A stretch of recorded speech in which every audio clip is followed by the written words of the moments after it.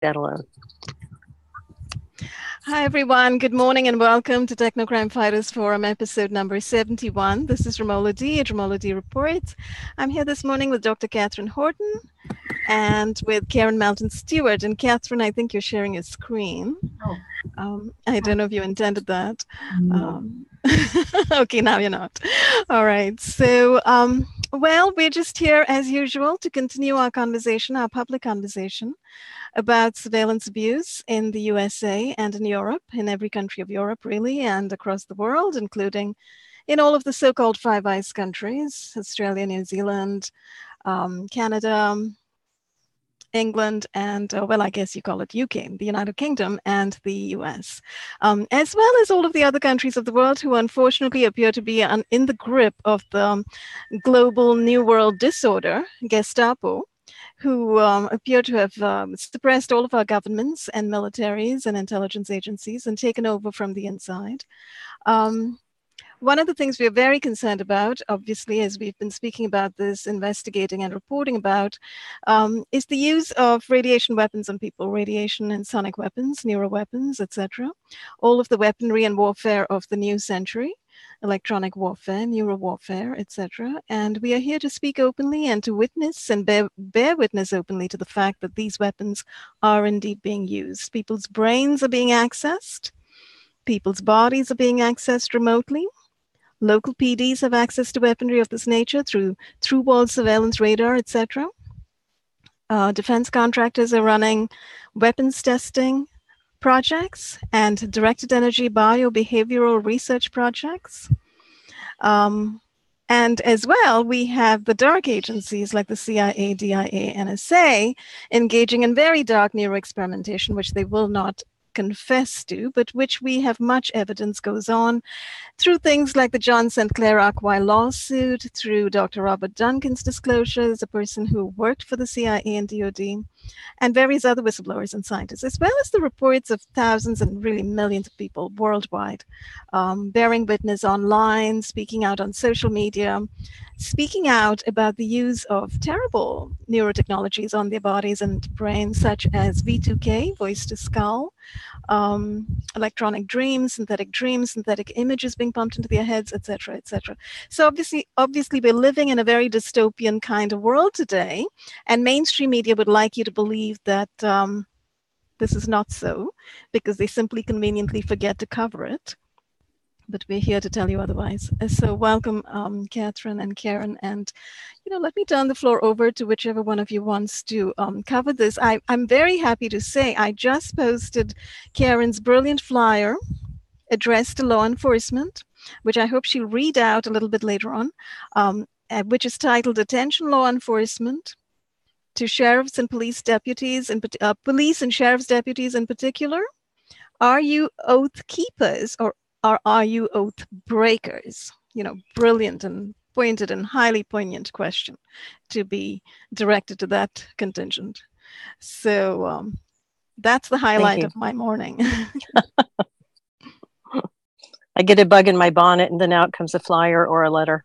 I have to say they're highly, highly um, successful these flyers because I've now found. Um, so there was last time we mentioned the the sheriffs trying to uh, put a damp on these flyers by claiming, oh, there was fentanyl on these. And then I found another article from a few years back, I think all the way back to 2012 or something. And there was another flyer uh, campaign where, again, the sheriff's department warned of these flyers and people shouldn't touch them.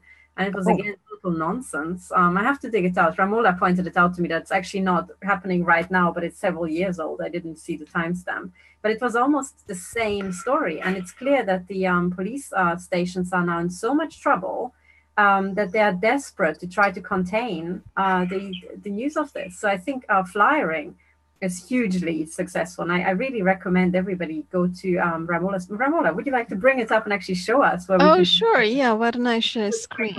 Because, um, yeah. And uh, I think I think this is the best thing that victims can do today, you know, without doing anything else. The best thing you could do is download these flyers and just distribute them, you know. Oh great. My screen just went blank. Can you still hear me? Yes. I can hear you. And I can also see I can also you can still see me. Can you see my screen? Because my screen is absolutely black at this point. I can, can see, see you, but not the screen, uh, except that it is black. Yeah. Um, I wanted to add that the Houston flyer was not my flyer. It was uh, that of another group. But thank goodness the attempt to smear them absolutely totally failed and made the police look really incredibly foolish. So that tells you how desperate they are that people not get flyers. Yeah. And the question to ask is why is it that a police force um, in charge of investigating crime is desperate about victims trying to stop crime? And the only logical conclusion that follows is because the police officers are the criminals.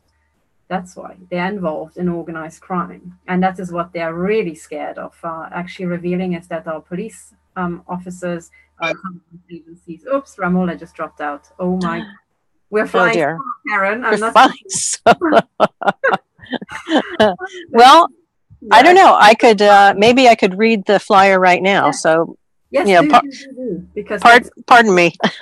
I can't see unless I put it in my face. So pardon me. One second. Maybe I can still share my screen, and I want to point everybody so that they they can read it with you because. Okay. Much more uh, so effective because people can take it in. But I want you to read it. But let me just share my screen and I want everybody to go to everydayconcern.net, go there right now. And on the front page, you have this article.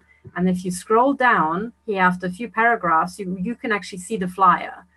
And uh, can people click on this? Uh, I can't click on it. Maybe if you open it in a new tab. I know it's still very small. So it would be great if you actually read it out. But okay. people can download it here. So um, go, Karen. Yeah, Ramola had to put it in as a screenshot because she was having trouble, but it is in the, I believe, the PDF to uh, download it. All right, all right. She's she's back, but uh, yeah, you want me to continue and read the flyer? Go, go ahead. Go ahead. Okay. All right. Uh, as you said, it's it has about three titles: one title, two subtitles. One, attention, law enforcement, police, and sheriff's deputies. Are you oath keepers or oath breakers? You struggle with getting respect from the public. You supposedly risk your lives to protect, uh, which you supposedly, li- li- geez, sorry about that, guys, risk your lives to protect. You think it unfair, but you carry on. And some of you indeed lose your lives helping the public. You serve and protect the grateful as well as the ingrates alike. It's part of your job, equal protection under the law.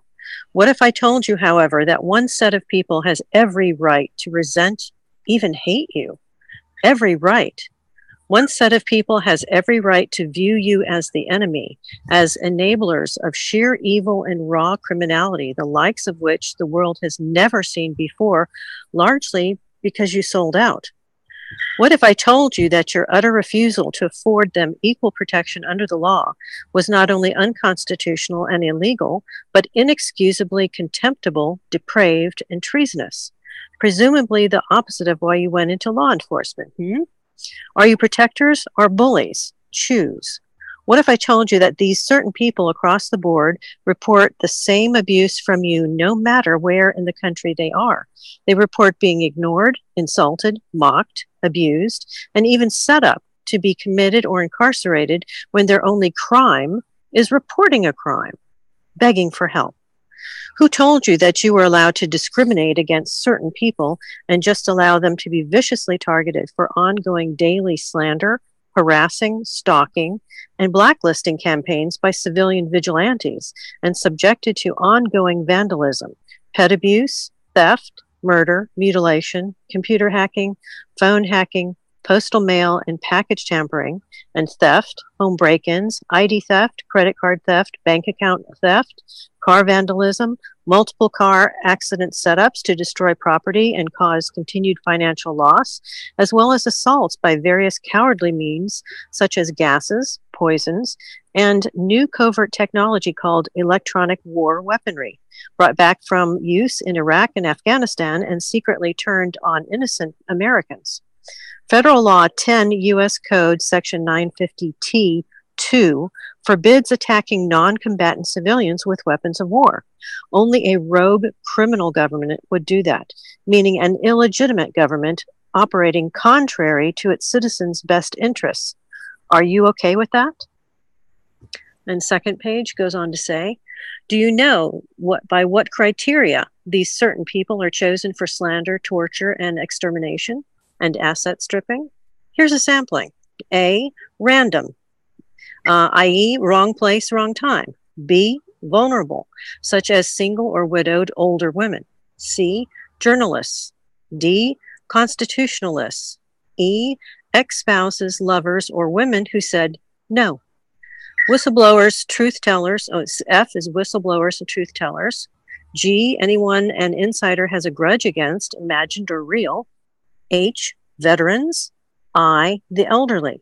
Do these sound like people who should be on the targeted on the terrorist watch list? Well, they are. They are especially on the non investigative subjects NIS Code 4 silent kill list, as specified by the dubious FBI and corroborated by an ACLU FOIA to them. Let that sink in. No investigation, just assassination. No due process, no Fourth Amendment rights. Ever hear of COINTELPRO? It was an illegal program run by the FBI to murder civil rights and women's rights leaders in the mid 20th century. The Senate Church Committee condemned it and forbade that the FBI ever war on the American people again. But they are at it again. They likely never stopped. But 9 11 was certainly a boon for them to expand and renew COINTELPRO. Do you have non lethal weapons? Then you are familiar with the principles of electronic weapons. They do exist. You have some. Yet you are told to pretend such devices are mythical, make believe, non existent, and that a person is delusional or crazy to report being assaulted by people misusing them. Were you not warned that even non lethal weapons can be lethal, especially if you abused and mis- even if abused and misused?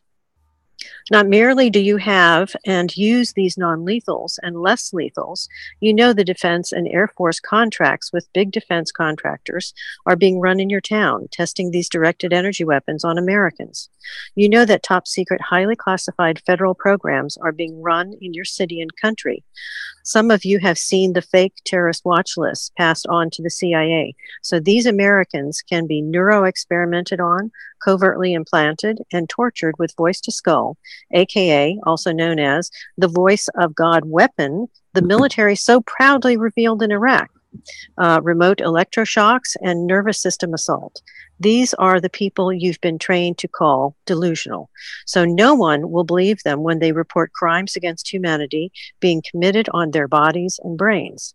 18 U.S. Code, Section 2441, prohibits the federal government and agents thereof from committing acts of war upon unarmed, non combatant civilians. According to Executive Order 13606, all those who conduct or conspire to facilitate prohibited activities using sophisticated electronic technology to harm communications equipment, communications networks, or human beings are axis of evil, rogue state actors, or sympathizers of mm-hmm. terrorist infiltrators working against the American people and public at large by the definition in Section 7 to include transmission and display. So are those using, sorry, third page, information and communications technology to commit serious and grave human rights abuses in violation of the Counter- Counterfeit Access Device Fraud and Computer uh, Abuse Act of 1984. Sorry, I misread that a little bit. Um, this defines electronic harassment, which can be lethal. If a person or several people aimed a radar gun or several at your home and family 24 7, would you allow that, knowing radar guns can cause cancer with overexposure? Yet, when civilians complain of being assaulted with demonstrably similar electronic devices by others, they are ignored. This is the legal definition of willful blindness doctrine the purposeful attempt to stay ignorant of pertinent facts to avoid civil and criminal liability. The crime fraud exception law may also be applicable in regard to the withholding of equal protection under the law to facilitate yet more human rights crimes by the perpetrators, quote unquote, I mean, parentheses, under color of law. These weapons, which we have established that law enforcement by and large knows about, cause cancer, bleeding in the brain, strokes, high blood pressure, internal and external burns, eye damage, hearing damage, brain damage, autoimmune disease, joint disease, organ failure, etc. 50 U.S. Code Chapter 40, Section 2301, Congressional Findings, clearly states that Congress recognizes that chemical, biological, radiological, and other electronic weapons of mass destruction are now capable of being made by domestic terrorists and criminals. So, are you stupid or just cowardly hypocrites? So, this is the only crime you refuse to deal with? You sanction this crime? Who told you that only one person stalking was against the law, but not premeditated multi person stalking and harassment? So you could ignore all of these highly coordinated vicious crimes, no matter the harm to the victim? Did you know 18 U.S. Code, sections 241 and 242, prohibit conspiracy to deprive anyone of their constitutional rights. The first applies to civilians, the second to the author, to the authorities, you, who can indeed be liable, held liable, and prosecuted for failing to do their jobs. There are also RICO laws in, that apply, but law enforcement seems uninterested in this very unique crime. And some victims are even reporting being denied protection because their name is found on an untouchables list being kept by law enforcement outside normal file systems, such as in the tr- car trunk of the duty officer, so that the illegal and treasonous kill lists will be out of public scrutiny. This is unconstitutional. There is no exception. This is prohibited by 42 U.S. Code 1985, conspiracy to interfere with civil rights, and 18 U.S. Code 1510, obstructing a criminal investigation, conflict of interest roles in government. In so doing, you are skirting the victim's ability to gather evidence for potential criminal actions against you. According to Supreme Court rulings Marbury versus Madison, no unconstitutional law is valid. According to Norton versus Shelby, following an unconstitutional law affords you no protection from liability and prosecution. Someone is telling your superiors to deny certain people their constitutional rights and ignore their persecution and murder by federally funded illegal death squads masquerading as Neighborhood Watch and other secret organizations like InfraGard run by DHS, FBI, fusion centers, and paid tax dollars under the table by such contractors as Lockheed Martin. Your, boss, your bosses are even making deals to accept bribe money. Fourth page for, oh, sorry, accept bribe money for the department to get all the latest cop toys and maybe even for themselves. By marginalizing innocent people, DHS needs to falsely and secretly accuse of criminality or terrorism in order to build up an un American fascist police state on a fraudulent threat and on the destroyed lives of hundreds of thousands of innocent people who have no idea why they are suddenly a caste of people being denied their basic rights by law enforcement and illegally warred upon by their own government and fellow citizens using weapons of war like sophisticated gases, poisons, radiological weapons, and electronic weapons. 18 U.S. Code 2441, Section 2441, prohibits prohibits the federal government and agents thereof from committing acts of war upon unarmed, non combatant civilians, yet you do nothing. You do not investigate, you do not consult experts, you do not get educated.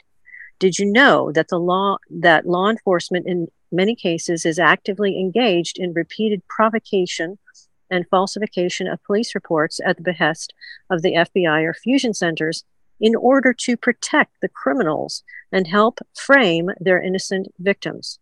Did you know they are doing so partially to please DHS partners who own privatized prisons and mental institutions?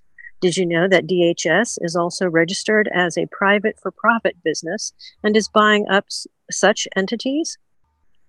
Clearly, they want the prisons and mental facilities filled to capacity and do not care how they do it. There is little difference in policing in oh sorry little difference in policies to provoke lashing out or falsifying charges in order to arrest someone and outright kidnapping is there? Is that what you want to be a part of? Can you tell the difference between law enforcement in a free society and the gestapo tactics from eh, nazi germany? Are you aware that American government has a history of illegally experimenting on people incarcerated in facilities, very often killing them? Prisoners have been injected against their will with everything from devastating diseases to plutonium. Are you aware that the Eighth Amendment of the Constitution prohibits cruel and unusual punishment? Do you realize that the terrorist watch list is purposely populated with hundreds of thousands of completely innocent Americans with no terrorist leanings or contacts, much less any criminal record? And that these are the scapegoats you are helping DHS, FBI, fusion centers, and their secret unconstitutional civilian armies persecute, torture, and murder for the profit of criminals within the federal government. You see, people on the watch list are declared non humans, and contracts are sold on them to use them for lethal experimentation. The contracts are worth billions. And then I put, can you spell? And I write out human trafficking. Did you go into law enforcement to help transition the, uh, the USA from a free country into one of subhuman totalitarian predator and prey society? A dystopian nightmare?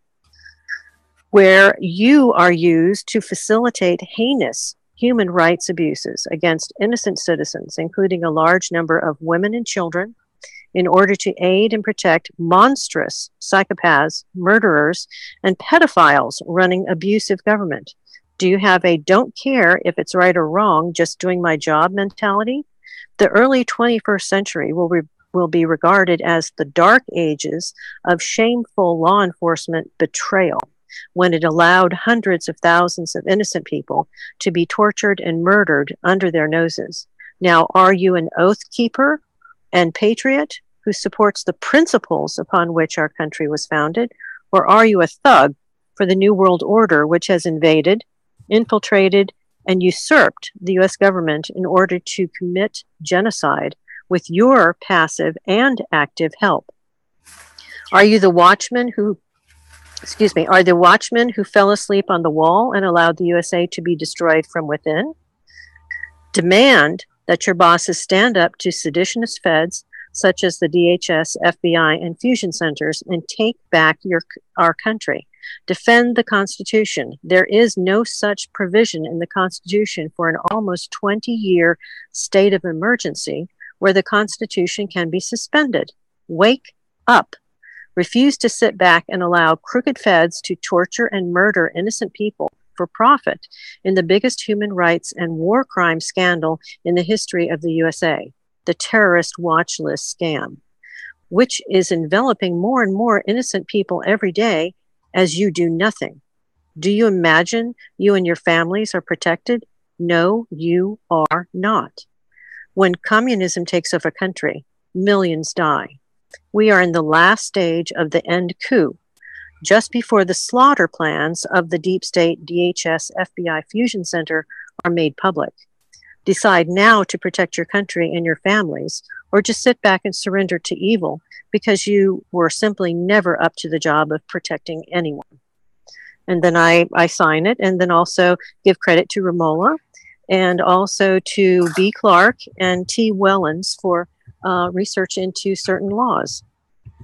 And then at the end of it, I do give many um, links to articles that support what I'm saying in the letter. So that's it. Like I said, I get a bee in the bonnet and then I got to tell people off. That's fabulous, Karen. I mean, actually, I don't really deserve any credit whatsoever. I just helped with a little paragraph. Um, but you did all the hard work and just quoting and citing those laws, that's incredible. Because, you know, whatever the system is monetary system, mercantile system, admiralty law, whatever, you know, there are still laws, right? There's still a code, and that's called the US Code. And they're still breaking those codes, right? So it's important to bring that to their attention. It is. And there, you know, you cannot have a state of emergency forever. You can't do it. Plus, a state of emergency that's been declared has to be voted on and continued every six months by Congress. Guess how many times it's been voted on and continued since 9 11? Once. Oh. Once. How, how long do these emergencies supposedly last for, legally speaking?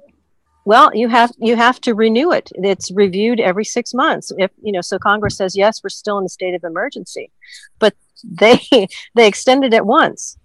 They so really we are. extended it only once. I thought every time they had a U.S. president change hands, they kept extending it. No.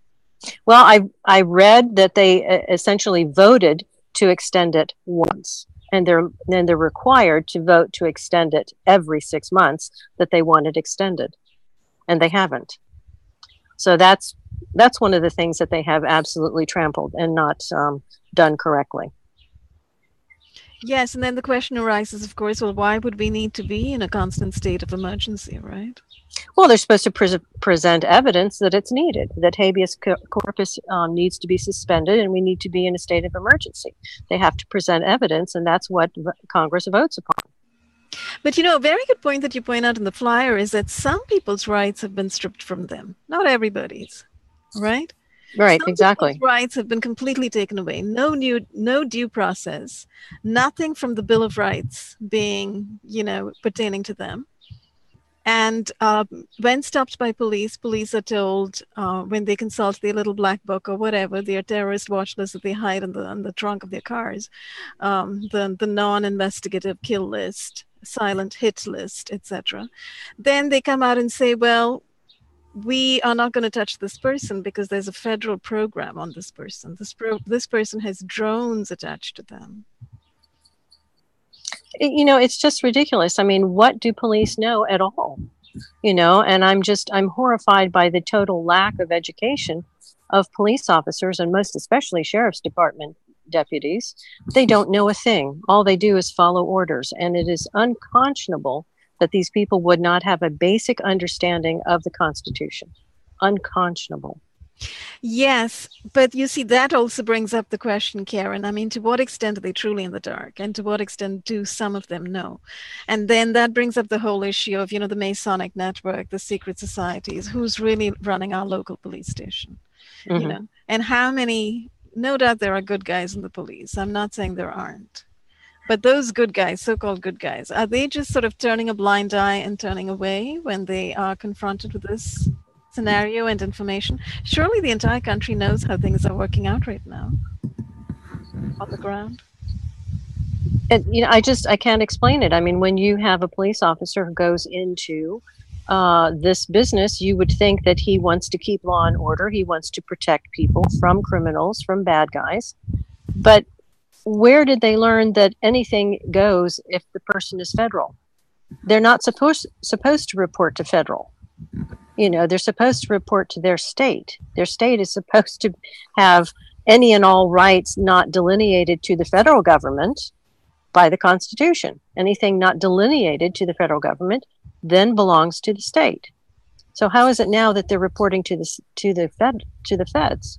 And who is it in state government who's allowing that um, line of you know uh, well, what is it called it's um you know basically just you know uh, uh, following orders from the feds with no with no state intervention whatsoever you know i mean the nsa can tell the police to go and slit your tires what you know that's insane that's totally insane and you would think that a police officer would understand that that is insane and it actually goes well beyond the feds as well, right? It goes beyond to that global policing initiative that Loretta Lynch signed into being in September 2015. The whole Smart Cities, Resilient Cities initiative, that's all connected. So now we've got UN police, we've got global policing initiatives in our local police departments. And again, it takes away our sovereignty. You know the states are acquiescing. They're giving up their rights. And and again is it that they don't understand the constitution and the fact that they have rights and that the feds are not allowed to be into everything the states are giving up their rights and also the local governments are giving up their rights mm-hmm. right the local governments are giving up their rights so local police stations just sort of follow the lead and then there's this whole the whole um, construct of these fusion centers Right. So that's another kind of overarching network that connects with DHS. And um, you've got the, for instance, over here in Massachusetts, you've got the Commonwealth Fusion Center and you have the Boston Fusion Center. And the Commonwealth Fusion Center is headed by the um, the chief, the state police.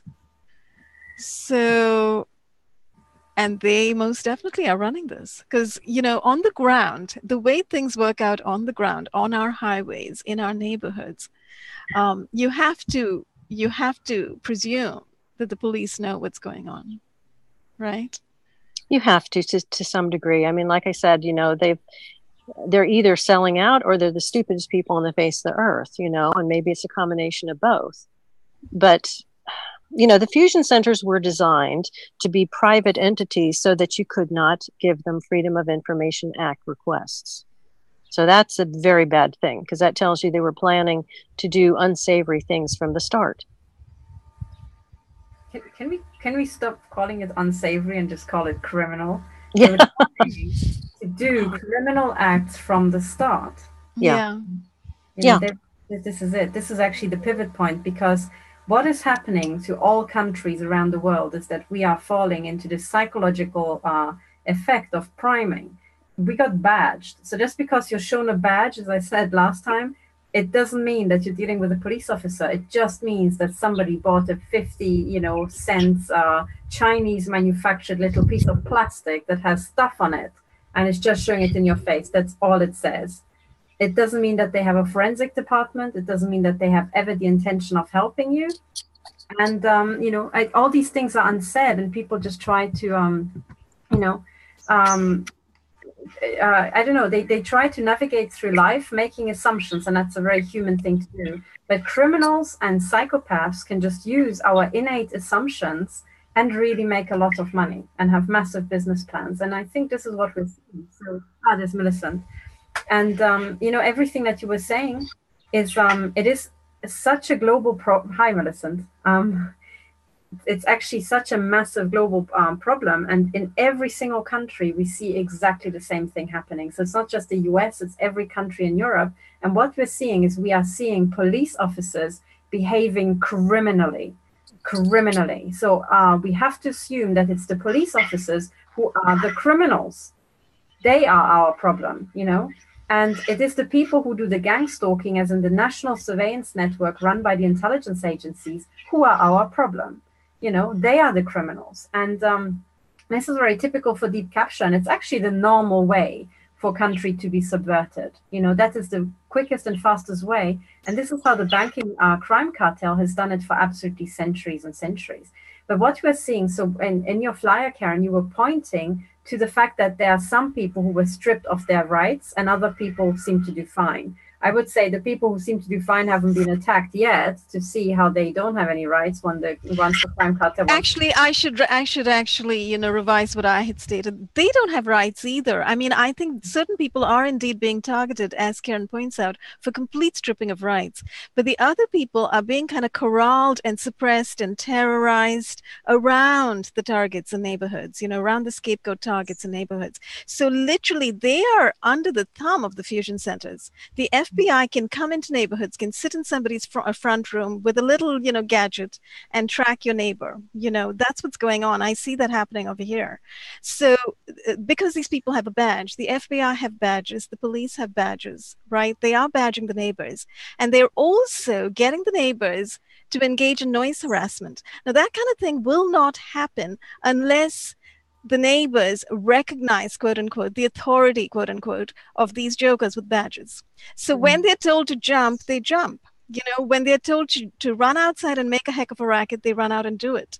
They're doing it all the time over here in my neighborhood. You know, and I think many of us have witnessed and see this all the time and, and and that's actually the, the standard way of doing it because um so i would the way i would classify it is that there are people who are now being exterminated actively and i'm one of them and then you are one of them um, and there are people who are not being exterminated yet because they still have a function in the system to exterminate others before it's their turn. That's right. you know, so it's kind of like a wave motion. And actually, there are already victim cases where they say, oh, there was a perp flat from where I was being attacked when I, I moved in, and then the perp died of brain cancer. Yeah because you know the, the, wall where he's reflecting you're getting 50% he gets 50% and the moron didn't know it um, so that's happening. And then they also want to do away with the people, you know, with the witnesses. because if you really want to have a genocide, you best do it in cycles and waves. So you kill off the first wave, and the people pointing guns will be the next being killed off, and then you've got this outward moving concentric circle, and then you populate the empty flats with your Masonic or you know secret society crime network members, and then they get all these cheap flats. So that's exactly exactly the program that the Masons uh, ran in Nazi Germany and also in communist Russia, exactly the same. And there's a, um, a wonderful little uh, local museum in the Czech Republic, um, and I think it's uh, I have to remember the town. It's somewhere near the, the border, but in in there they had it. So the area used to be uh, German speaking, and if you go to the museum and you read the documents from the Second World War, I read them because they were in German. And one of them, one of the exhibits there, is a letter sent by a soldier to the local authority complaining, and I will just use the term as it's written in the letter, complaining why, uh, while he was away at the front, you know, fighting for Nazi Germany, they were distributing Jew houses for free. And he comes back and he says, Why did I not get a Jew house? And then there's a reply, and this is how it's written in the text, you know, uh, Judenhaus. This is what he said. He said, You were distributing Judenhäuser. Why didn't I get one? And I'm fighting for you at the front. And then the local council wrote him a very apologetic letter and said, Oh, we're really sorry. You fell off the list because you were at the front. Of course, you're going to get a Jew house. Sure, we've just killed a family. Move in. Oh boy. yeah, and that is that is no joke, and it's happened everywhere, everywhere. I mean, George Soros was instrumental selling out the Jews in Budapest, right? He's a Jew. He sold the other Jews. And that shows you it's nothing to do with being Jew or not Jew. It's really to do with are you being paid by the crime cartel and are you a big fat, big fat psycho, you know? And psychos are universal in every um, every part. So, but what did they do in, in Budapest? And you can still see these massive, wonderfully luxurious, beautifully done houses that are empty because they killed so many people. There weren't enough masons to fill it up. You know, it's it's all visible, and there, there were entire ghost quarters in Budapest, absolutely mm-hmm. beautiful places. So what this is is the same old program, and um, it is called the dual state, and it's a very very old asset stripping program. And here's, for example, a very good book, The Dual State, by Ernst Fraenkel, which explains the entire Nazi um, Germany aspect of it.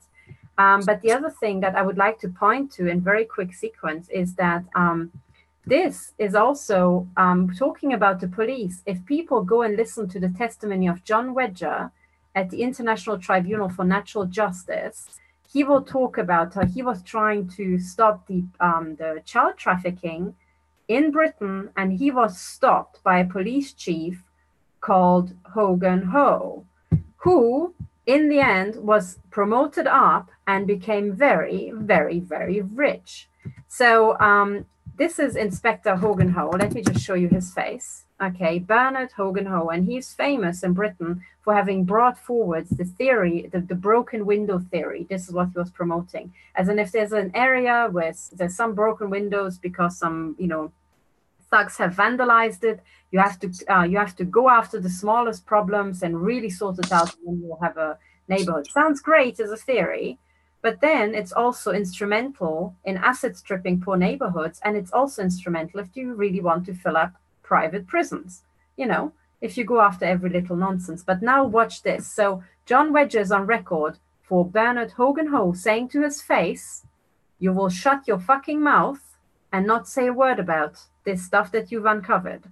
In other words, Bernard Hogan-Howe, with the Masonic, you can see him with the Masonic cap, you know, no big fat surprise once the Masonic tiling is on his cap that he's following the program. He said, You will shut your mouth. And in a sense, he made the choice. The children had no rights. Okay. And children fucking politicians had all the rights in the country. And I want to make it as stark as possible. This is why I'm using the word, because this is what they did. They shredded children, they murdered them, they raped them. And there's this police officer saying to a police officer who tries to help the children, you will shut your fucking mouth. Well, what happened to this police officer who said that? Well, he got very, very rich. And look at this, because this is very telling. Already, the Times in the signaling in this image shows you what's behind all this, because they're showing Switzerland with the Matterhorn. The pyramid is right there, top of the pyramid. There's Hogan-Howe with his Masonic tiling on his cap. And what happened is that this Scotland Yard chief, um, he is Britain's former top policeman whose six year tenure as Met Commissioner was marred by controversies, including the failed inquiry into VIP sex abuse. And he has now a public pension pot worth at least six million. And where does he go? He goes to Switzerland. And he's in a little alpine retreat for war criminals called Valais in Switzerland. What coincidence?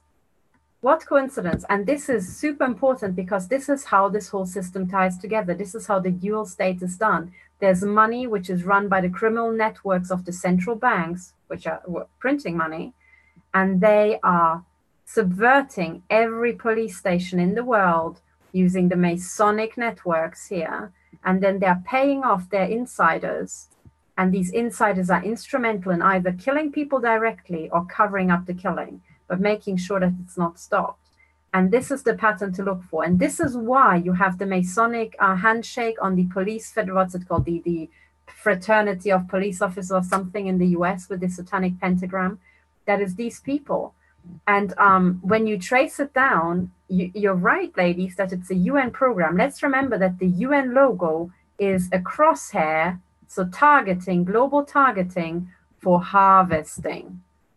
That's what it is. They're telling us right there. And this harvesting symbol fits in. Let me show you the flag of communist Romania, where I was born and I fled from. Communist Romania had this little logo on the colors, which again showed the satanic pentagram, the sun worship, the sun, just like the Jesuits, the Vatican connection. Okay. And then it had the corn here, so the wheat, whatever this is, for harvesting. In other words, communist Romania was being harvested by Satanists working for the Vatican. That's what it was. There was the program right there. And that's what we're now. We are now in global targeting. The, the entire world is the, in the crosshairs of these united Nazis for harvesting. And men like Hogan-Howe really cream it up, uh, you know, cream it off. And then they go back to the mothership, which is Switzerland. And um, it's just shocking. And I just expect exactly the same thing to happen. Maybe, you know, going to Switzerland is a bit too far for police officers, but these InfraGard people are the Hogan massive hoes of the US who are selling out, prostituting themselves, and, and literally making sure that people are dying, that children are being raped and murdered, and people are being machine gunned in their homes, and they do nothing. They are criminals. They are members of a criminal, criminal network. They are. They're trading their neighbors' lives for um, handbags and uh, riding lawnmowers and maybe a vacation house, and they think nothing of it. Yeah.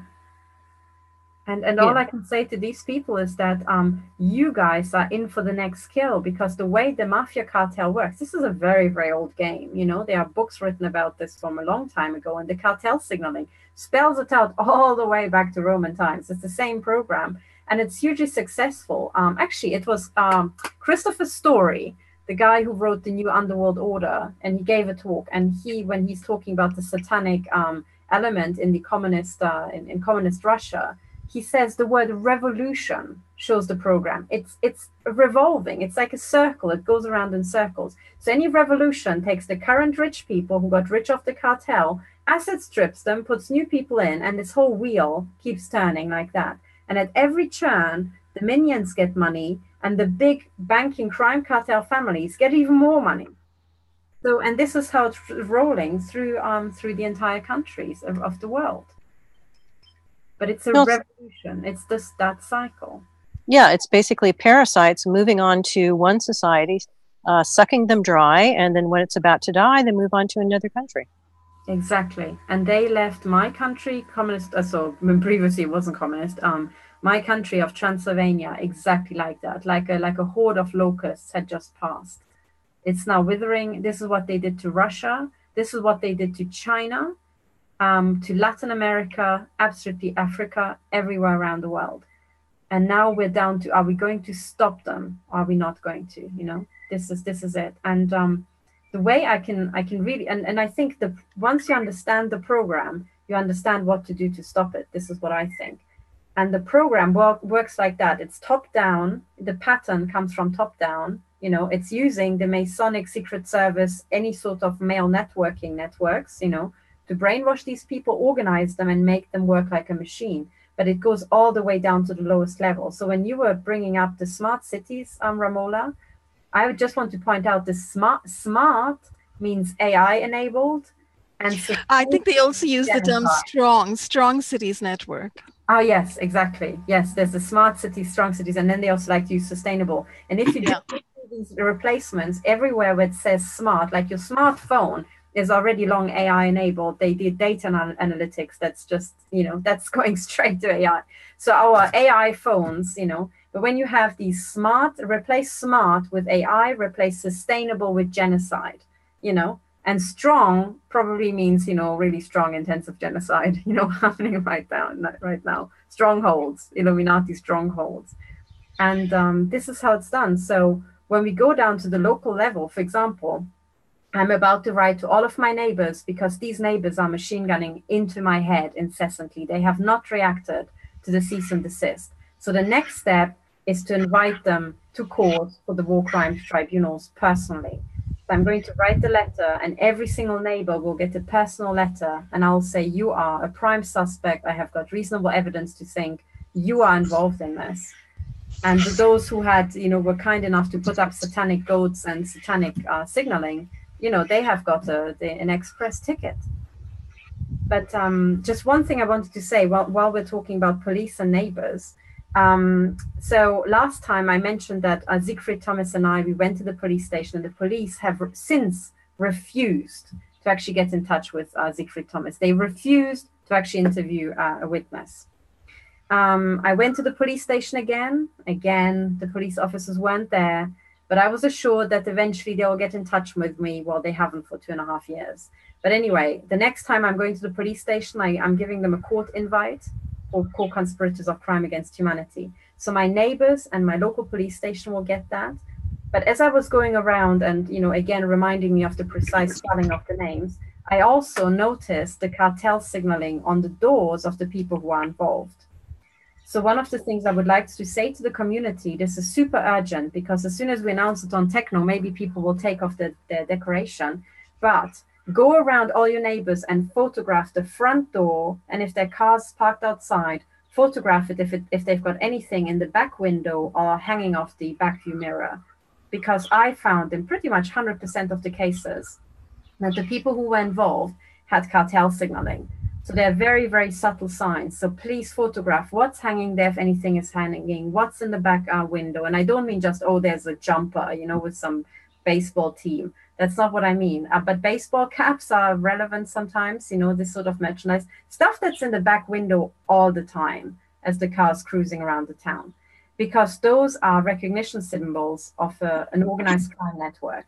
And for example, when I went around, I discovered that the houses that seemed to be shooting at me had little reefs, just like Siegfried Thomas, and big hearts, you know, the heart symbol, but also butterflies and an owl. The owl is a symbol for the crime cartel because owls hunt in darkness. So I just wanted to underline everything you said. You know, I think people should go distribute the flyers, really give the police station hell because they are members of a criminal network. And then we now have to move to identify the neighbors who are members of this criminal network because they will kill not just you and your family. When they're finished with you, they will kill other people and then each other. That's the plan. Yeah, but also remember the people who are working in our neighborhoods are really minions and proxies. There are much larger thugs over here who, are involved, you know, and they are in the institutions. Um, I just wanted to say hi to Millicent because she's been dropped off three times. I've been trying to promote her to panelist each time. It's very bizarre what's been happening because you're a panelist, um, Millicent, and I promoted you the first time but then it kept dropping back to attendee status. And this is not obviously us doing this. Absolutely. In fact, my tablet is being literally cut off altogether and restarted, and I'm not doing anything. So I started taking pictures of it, just restarting by itself. And I do have something very interesting to um, to add. I've been out this morning doing some research on what I think will will certainly lead to proof of involuntary servitude of not just me, but of of our.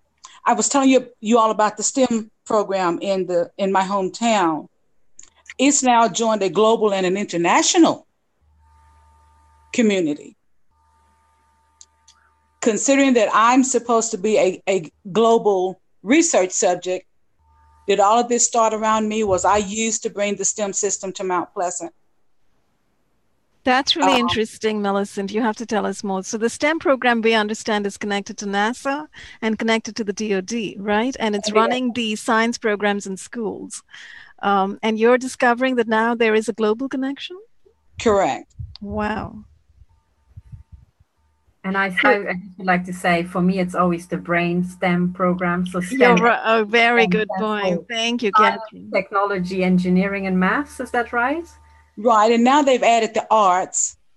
Oh yes, STEAM, the STEAM program. But it's after you yeah. expose them, Millicent. They added the A after you expose them. You know, STEM to STEAM. and you know, the global aspect certainly connects up with the policing because the the Strong Cities Network is a connection of the police in cities and counties in the US to the UN and abroad. And you know, the key over there is the countering violent extremism programs. And countering violent extremism is a huge program, which they are now having conferences in Europe regularly. There was one in May, I think, at the end of June, um, in May or, or at the end of June. Um, about you know people getting together and saying how should we counter violent extremism in our neighborhoods you know, I, I think, uh, sorry, I mean, for, uh, for all the panelists here, it's pretty obvious, but just for the new viewers who joined us fresh, I think, you know, in the crime cartels double speak, with extremists, they mean us, the people who don't want to go, go along with the genocide agenda. Yes. These meetings are about is how to mutilate us harder and mm-hmm. even more covertly so that we die before we go up against their money making But they have a little facade operation going, you see, and the facade operation is the war on terror. And as we all know, from a sort of a generic uh, foreign policy kind of point of view, a long picture, large picture, panoramic picture point of view, what's going on is you've got the intelligence agencies and the secret agencies setting up wars all around the world, right? Fomenting wars setting people up one against the other, setting up factions, creating rebels, creating guerrilla warfare, etc., here and there, uh, creating factions like Al Qaeda, like ISIS, etc., and so on. And, and then, like target programs, like like the target programs, we are a small wars. Yeah. And the person who set me up for this just happened to have a medal in war on terror. How about that? Well, yes, because you're being uh, named a terrorist. Uh, we're all being named terrorists, you see, and this is how we get on the watch list. So they take accomplished people, people who speak out, people who have morality, people who have integrity, courage, and spine in their own individual neighborhoods, people who come to the attention of the local criminals who are the pipeline to the vaster, larger organized crime network, composed of skull and boners and masons and other moronic uh, lunatics of this nature.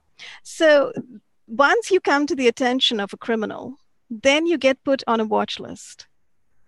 And then the function of the police, which used to be to take care of communities, then gets turned viciously against you. Yeah. Where now you are seen as a terrorist and a violent extremist. Although, mm. like me, perhaps you know nothing about guns or violence.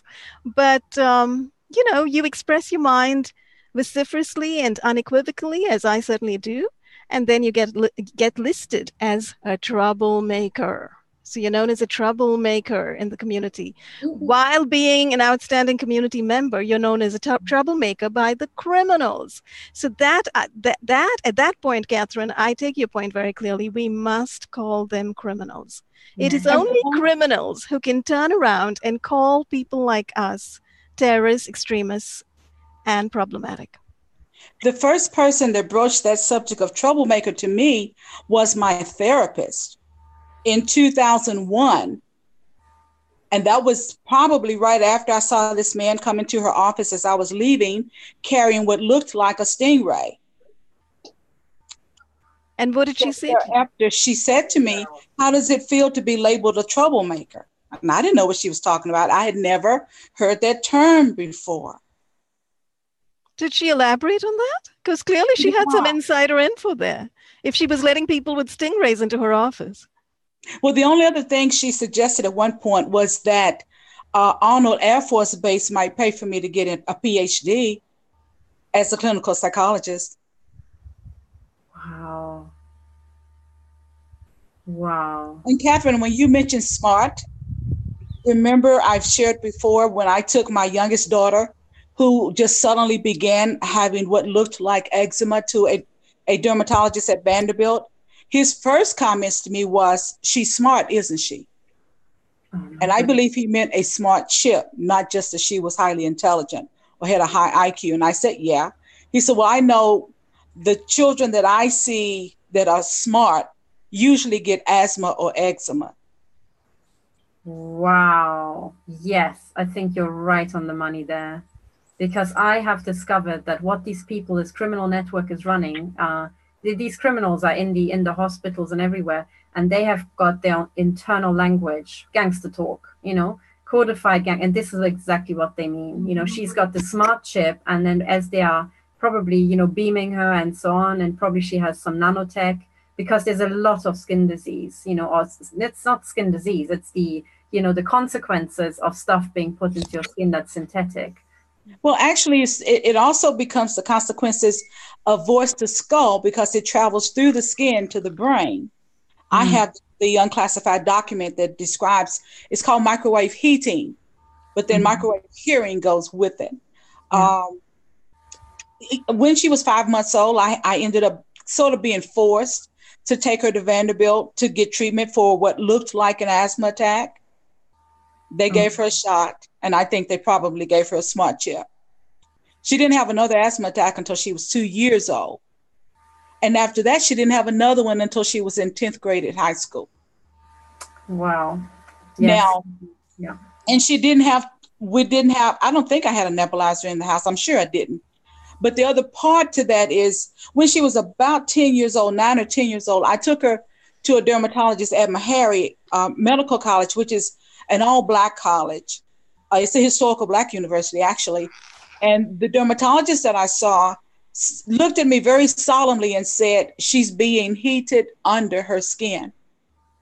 Now, how does someone be heated under their skin except by microwave heating? And that's a deliberate act um, later, years later, I looked him up on the internet and found out that he actually had been in the Navy. Very interesting. So he actually was giving you a bit of disclosure right there. And then talking about, you know, underdermal or subdural heating, he's also talking about some kind of thin film technology, some kind of biomem or, or nanotech that's been inserted under the skin. Right? Right. right. Mm-hmm.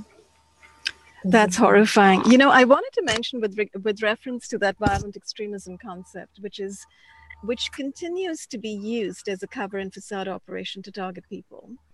Um, that by that means they are using dual use technologies, you know, and that's what the DoD and DOJ memo memorandum of understanding in 1994 was all about when both the when the DOJ, which is the FBI and police, decided to work together with the DoD to develop classified non-lethal weapons for dual use, meaning for surveillance use as well and and police use as well as military use. So in other words, they wouldn't just be using it on the battlefield outside the country; they would be using it on battlefields inside the country through the police force. Dual use technologies there we can see, I think, the cartels double speak again, the criminal networks double speak. And also, dual use can mean it, it is uh, surveying you and it's killing you, you know? It is. And as we saw from that video last week, um, Katherine, the, um, the incredible disclosure video from this military neuroscientist, James Giordano, who's got the guts to call himself a neuroethicist as well. One of the things he said is we are looking at individuals. We're interested in certain individuals. They are targeting individuals. They are targeting certain individuals and they are looking into their brains, is pretty much what he said.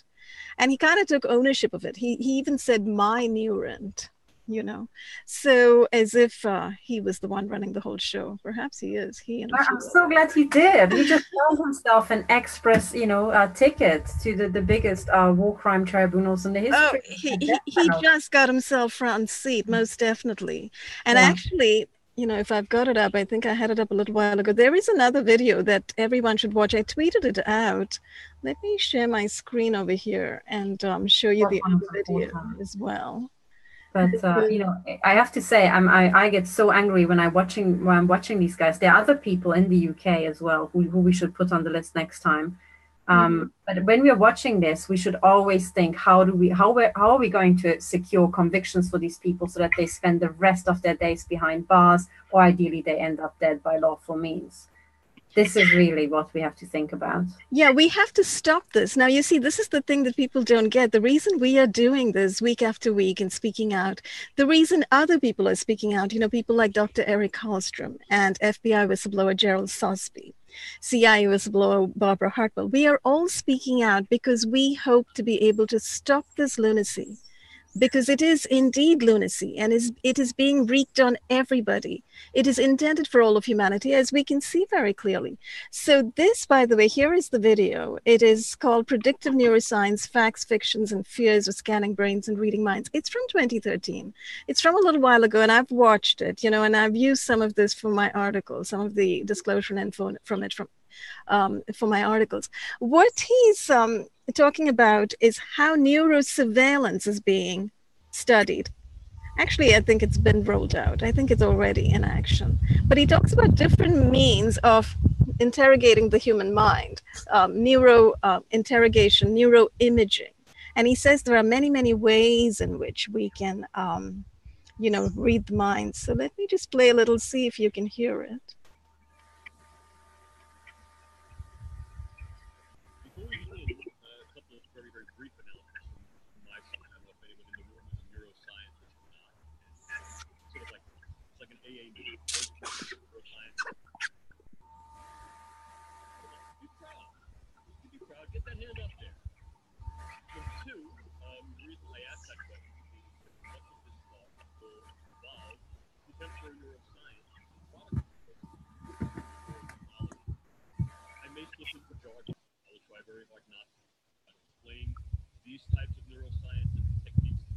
Ramola, we can't hear him clearly. At least I can't. Oh, you can't hear. Oh, no, he's too too low. Too low. Any better? Slightly. This is full volume. Oh dear. Turn on the television without seeing images type I'm about to show you. I want to cut through some of the hype that goes with this, what I also refer to as neuro hype or neural loud. Let me try to show some of his images, actually. That might and help. Those perhaps that we may develop, not on the, pop- on the public.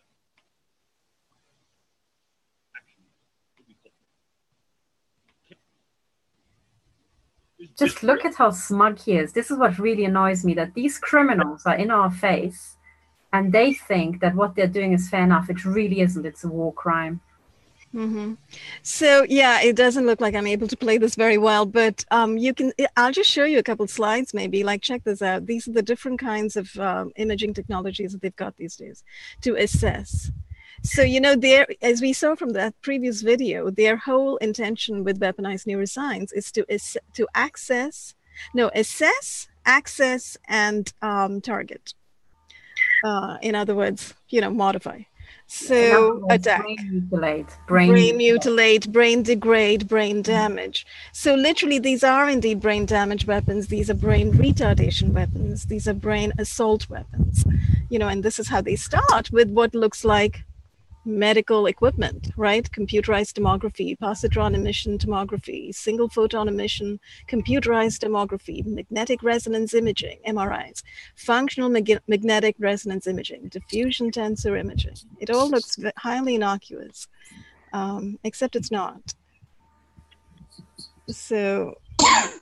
And Ramola, you have to remember that in talking about dual use experimentation, the medical piece is often done at university medical centers.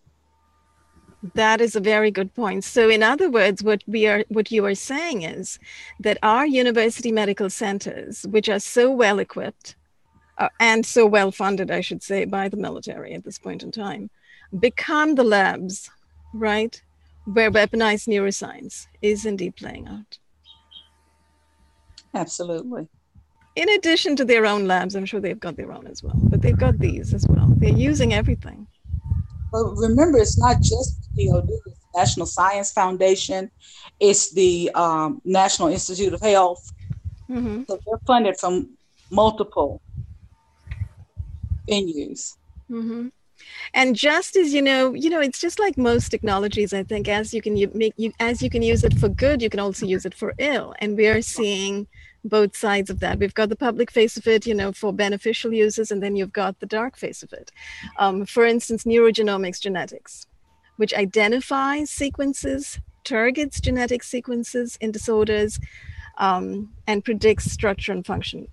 And obviously, in terms of weaponized neuroscience, it is targeting those genetic sequences in order to use them for disease purposes, to incur um, disease burden or morbidity, mortality, you know, and that's um, the horror and the frightfulness of what's going on. This is a very sort of random uh, going through some of um, this uh, this guy's slides over here.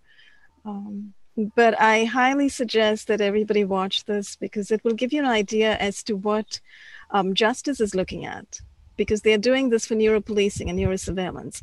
And um, as many of us know, this is already going on.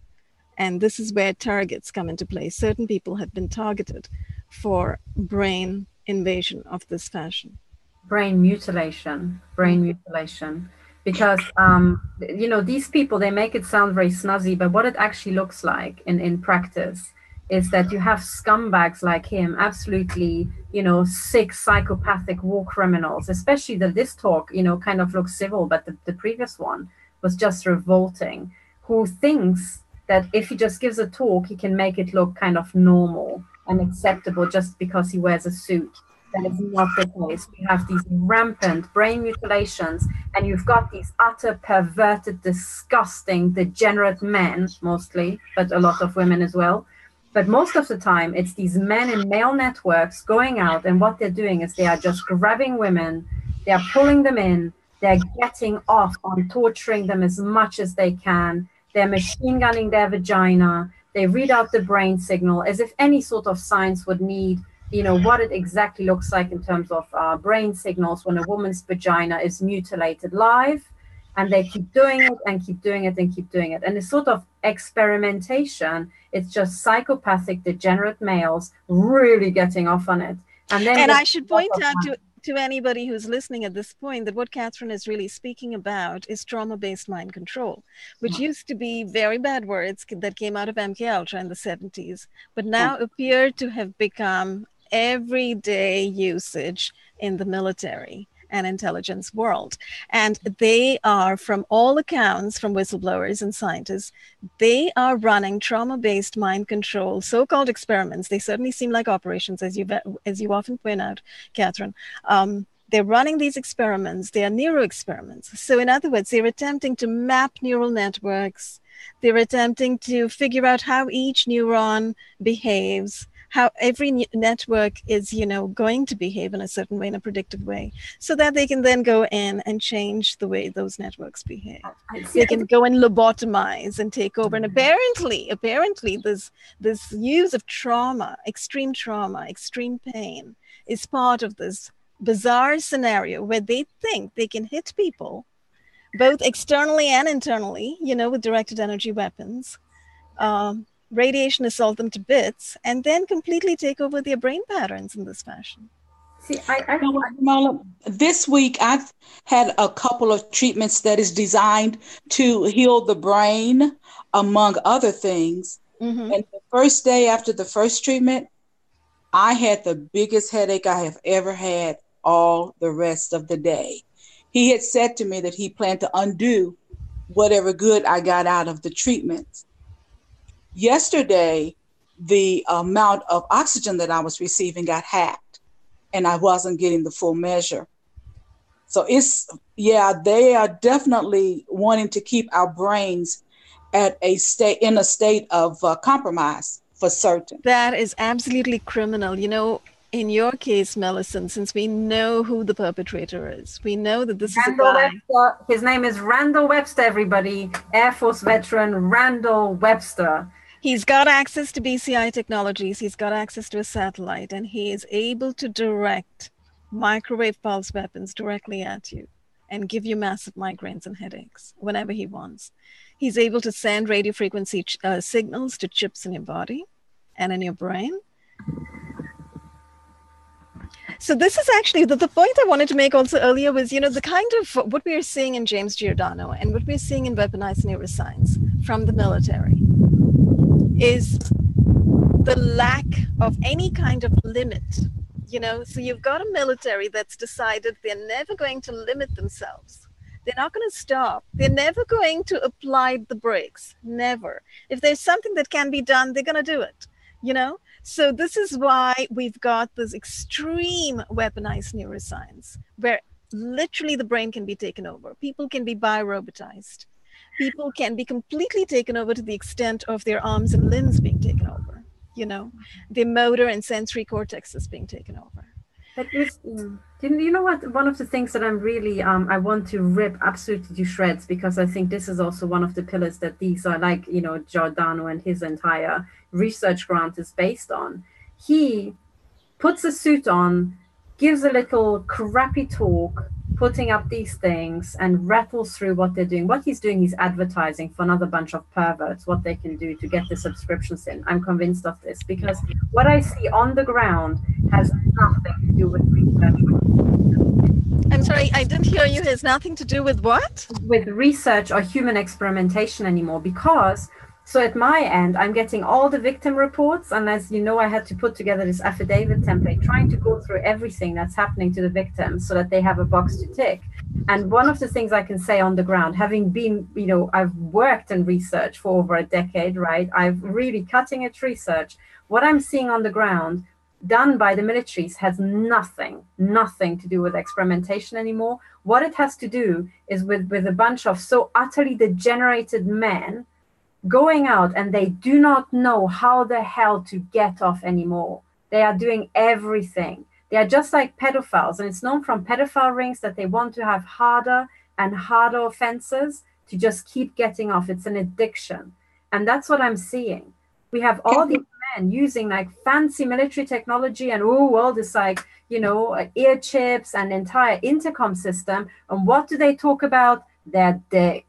Wow is that research? No, it's not. We've got Randall Webster talking for hours in Millicent's head about other women's vaginas. Is that research? No, it's just some sad fuck who needs to be shot in the head lawfully because he's sick and the Air Force doesn't stop him. They are churning these people out. It's human sex trafficking. That's all it is. It's just a I was wanting to add something to what you're saying about uh, the use of the weapons and the addiction to them. Lynn Surgalla wrote in 2005, and Lynn Surgalla was is the past president of the United States Psychotronics Association. And what she wrote in that document was it is no longer experimentation. It is slow kill. Yeah. Exactly. The words that I heard in March of 2008 uh, from the voice that I have described in the past using military communication technology said to me, I'm going to be as take it as slowly as I can. Exactly. Yeah. And we've got four years later, I was told by that same voice using military communication technology, you've made me filthy rich. I've made a mint selling your body. Exactly. And that falls on the Secretary of the Air Force. I'm sorry. The incumbent is a woman and her name is Heather Wilson. So maybe she needs a letter. Okay. You know? She needs court yeah. charges. She needs court charges, all of them. Well, a warning letter first to let her understand what's going on. And then if there's no reaction, as is typical, then yes. Yeah. I, I would just say, you know, this is the final warning. Um, you know, you will be charged in two weeks' time. You've got two weeks to respond to this. Um, we will literally hunt you until we have lawfully put you to death. That's that would be my letter, but you know, clearly don't write it like that. That's probably not Millicent style. not Millicent style, exactly. But this is what I'm going to write to these people because um, I also find it very telling that in the US they put Gina Haspel, a psychopathic degenerate and uh, very likely a serial killer, because I don't think anybody gets to that post without having killed at least one child or two um, you know, they put Gina Haspel there. And in meanwhile, the Swiss have changed Markus Seiler to a military man who continued this Nazi mutilation and murder program. And I think they put in a military man because to kill all the Swiss, there will be military action required. Eventually, the Swiss will cotton on. And when they try fighting back, this guy, uh, Jean Philippe Gaudin, as a military guy, will be used to turn the military on the Swiss people because they will not acquiesce to their own genocide. There are only 8 million Swiss within the country, and they want to kill a third. So, you know, this is this is it. And and I just want to say to all the people in Unterengstringen that who were kind enough to call the police station, keep calling, keep calling, because yes, you are on the list too. Every third person in my neighborhood is going to die. And I don't think the cartel wants to have these jokers with the wreaths on the front door. I think they will be, you know, I'll be number one, they'll be number two, and then whoever's, you know, unaffected further up the hill probably will be fine you know. And you know what Millicent's pointing to is also the fact, something that I think, well, Midge Mattis has discovered this. We've talked about this before. Karen knows about this and she talks about this. There are private contracts being taken out on people as well, right? So the fusion centers are actually approving surveillance contracts. So people are being told, and this is something Diane Chandler is also telling me about, and I, you know, I'm going to be revealing her story shortly, and it's bombshell. Uh, it's pretty much about private contracts being taken out on women.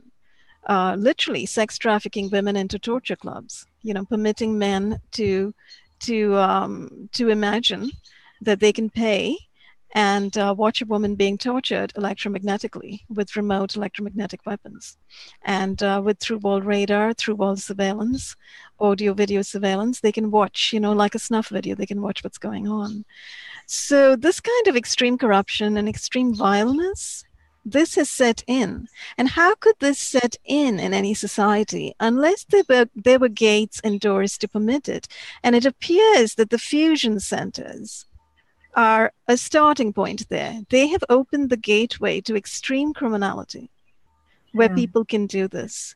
You know, so not only are there weapons testing pro, um, contracts being taken out on people who are wrongfully put under surveillance and thrown into the massive inflation watch list scams, but and you know which really means that defense contractors like general dynamics raytheon they're making big bucks northrop grumman by just being able to operate their planes in our cities and counties and test their directed energy weapons on on the populace.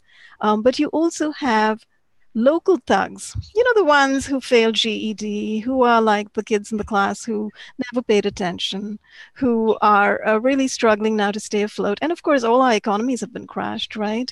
We're not manufacturing economies anymore. So there's a lot of people desperate for money. And here we've got the surveillance industry suddenly bloating out of sight and offering them the opportunity to work at home to be their own boss and work at home okay. with a little portable energy weapon that they can direct at their neighbor's cat and finish off, or mm. their neighbor's, you know, grandfather and finish off, okay. etc.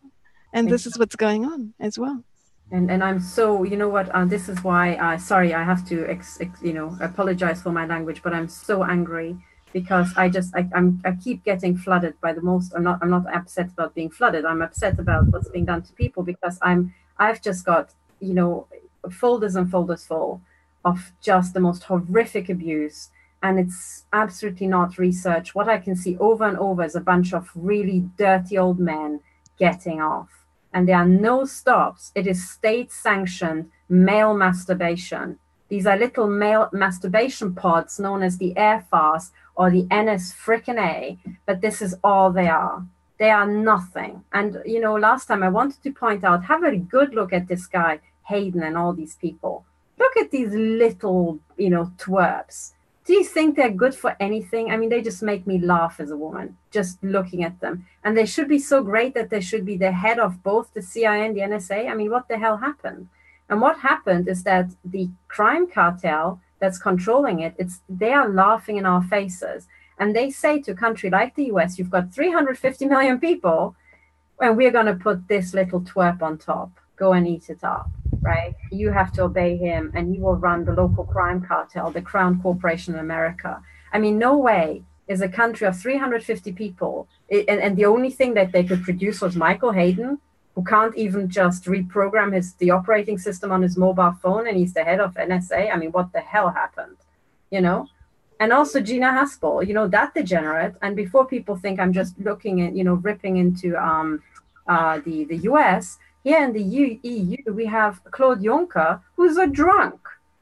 He's a drunk. And thankfully, this is one thing that I'm really grateful for for Donald Trump. He came here and he said that, you know, the people running the EU are idiot, idiots and drunks. That's right. Thank you. Yes. And there was a big, uh, you know, uh, I, I, should bring it up because my, my family sent it to me with WTF uh, attached, a, a, video about uh, Jean Claude Juncker at some sort of event. And he's so drunk, the other heads of state have to prop him up as he's going up the steps, right? Yes, I've seen that. Yeah, that's exactly right. That's actually a very good point, Catherine. I mean, when you look at some of these people, they look ill, they look unhealthy, they look like they've eaten too much, they've drunk too much, they've sat around too much, and smoked their stupid cigars too much way too much. They look, in fact, completely effed in the head. And um, these people are the ones who are lording it over the rest of us and heading militaries, heading intelligence agencies, heading governments. Give me a break. They're not leaders. You know, the, it is an absolute joke to see what they are doing, to recognize what they are doing and then to actually look at them and see who they really are. Um, one thing about the weaponology that they are using, though, is what they're doing is they're doing it to control people. So all of it that they have permitted, the directed energy weapons testing that they have permitted, as well as the neuro experimentation being run by the CIA, DIA, the dirty, dirty, extremely covert black ops neuro experimentation that they've uh, promoted and permitted, uh, which is really Manchurian candidate neuro experimentation, which is really biorobotization and complete body control and complete brain control and, and human takeover experimentation, which has no right, has no business existing in our societies. The, these, these weapons that they have permitted are weapons of control you know whether people hear about it or know about it even a fraction i mean you know you and i all of us here on this panel and many of the many of our viewers are very sophisticated on you know understanders and and viewers and uh, readers of this technology. We know the stuff exists. We've read the patents. We know enough about it but some people in this country, especially the ones who read the deep, deep state times, I mean the New York Times, and you know the Washington Post and various other tomes which cater to the CIA version of things, they're going to be shocked out of their minds when they hear about covert implants. Oh my God, people have implants. I mean, for real? Seriously, people have implants on them? and people are being you know neurotagged can that be possible so when people hear the fraction like the you know they hear the tip of the iceberg info about this they freak out and they shut up and this is exactly what our badgers want they want to go into neighborhoods freak people out shut them up and say you know this could be done to you or give them the hint that this could be done to you. And you know this is why alternative media in itself is shutting up. Look at alternative media. Look at uh, you know how brave they are. Look how openly they're speaking out. Look how often they interview us. Do you see any evidence of awareness there? I have absolute contempt for any media who can't step up. I'm sorry, but if you do not step up, this is most definitely coming your way because the fact that these weapons exist means that they are going to be used, they can be used on anybody and everybody.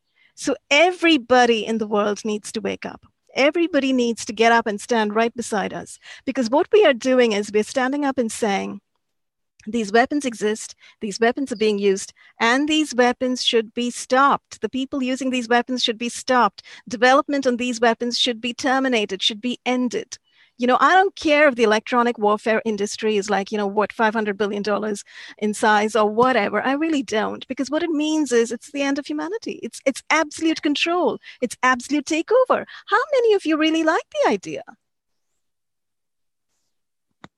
I'm fully, I'm, I am in full agreement. It's the death of everything on the earth.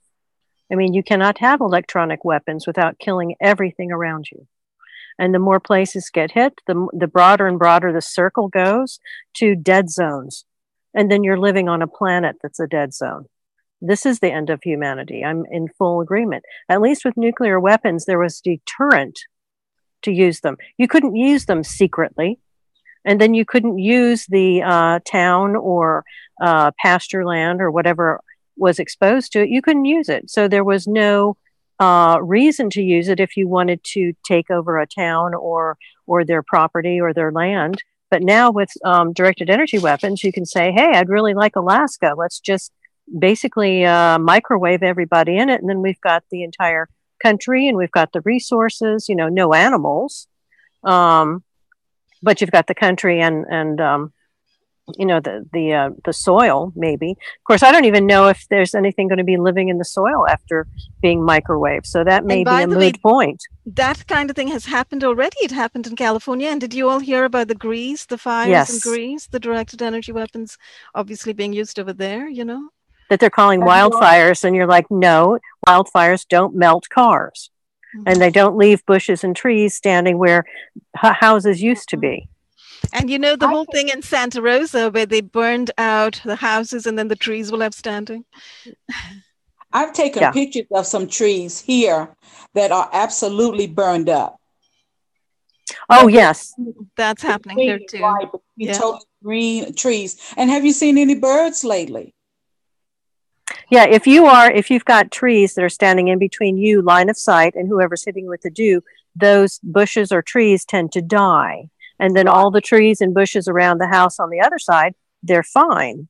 But right. if they're line of line of sight yeah they start to die. And i have heard from multiple people that their apartment or house or whatever was being hit by directed energy weapons. And then all of a sudden the city was coming out and cutting down the dying trees so that people didn't see that. Look at you know all the trees are good except for these this one or two. What's going on here? They don't want that so that is definitely a telltale sign. So if you're getting hit, you know, put up a lot of plants in your house and then see which ones are dying, and then I'll tell you the direction it's coming from. Mm-hmm. But sorry, I, I I won't interject. I'll interject later. No, I was going to say, but you know, there are things we can do. There are things we can all do, and um, you know, that's the kind of conversation I've been having lately with a few people, including with you know Dr. Nick Begich, which I um, you know I conversed with him a couple of days ago, and I have to upload the video. I will shortly. One of the things he said was, you know, if every person on the planet actually started to take some action, whatever it is, take the action that seems correct to you. You know, become aware, become informed, but take the action that's correct to you then it's all it's going to create a wave that all of us taking action together is going to create a wave. Because most often people sort of looking at the you know hugeness of the surveillance state the hugeness of the military just kind of balk and say oh they're too big you know that's the government we can't do anything. This is the way life is going. I mean give me a break. No you don't just sit back and take it you know? You don't just sit back and take your own enslavement. You don't just accept it you tr- exactly. unless you are a piece of rock or something, unless you've been totally zombified out of existence. And of course, there are people who've been zombified out of existence, you know, certainly. Um, yeah, and the thing to say to these people is that, um, you know, unless you're you're somebody who just uh, lives alone and uh, doesn't care, okay, that's maybe a strategy to take when you say, okay, I only have, I don't know what, how many years to live. I want to have as much fun as possible. Fine. But as soon as you have children or grandchildren, the truth is they're very likely already brain chip and they are, you know, the AI is training, interfacing with them and reading out their brain chip as they are playing around with their tablets and their mobile phones. Mm-hmm.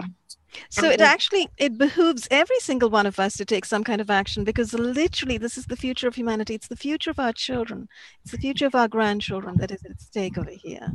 Because there is going to be no future if these brain weapons are permitted to exist and permitted to be used on people. You know, what the NSA is doing, literally, I think, you know, all holds barred, uh, no holds barred, rather, if you actually look at what's going on, what's going on is everybody's brain is being monitored. Yeah. Everybody's brain waves are being harvested.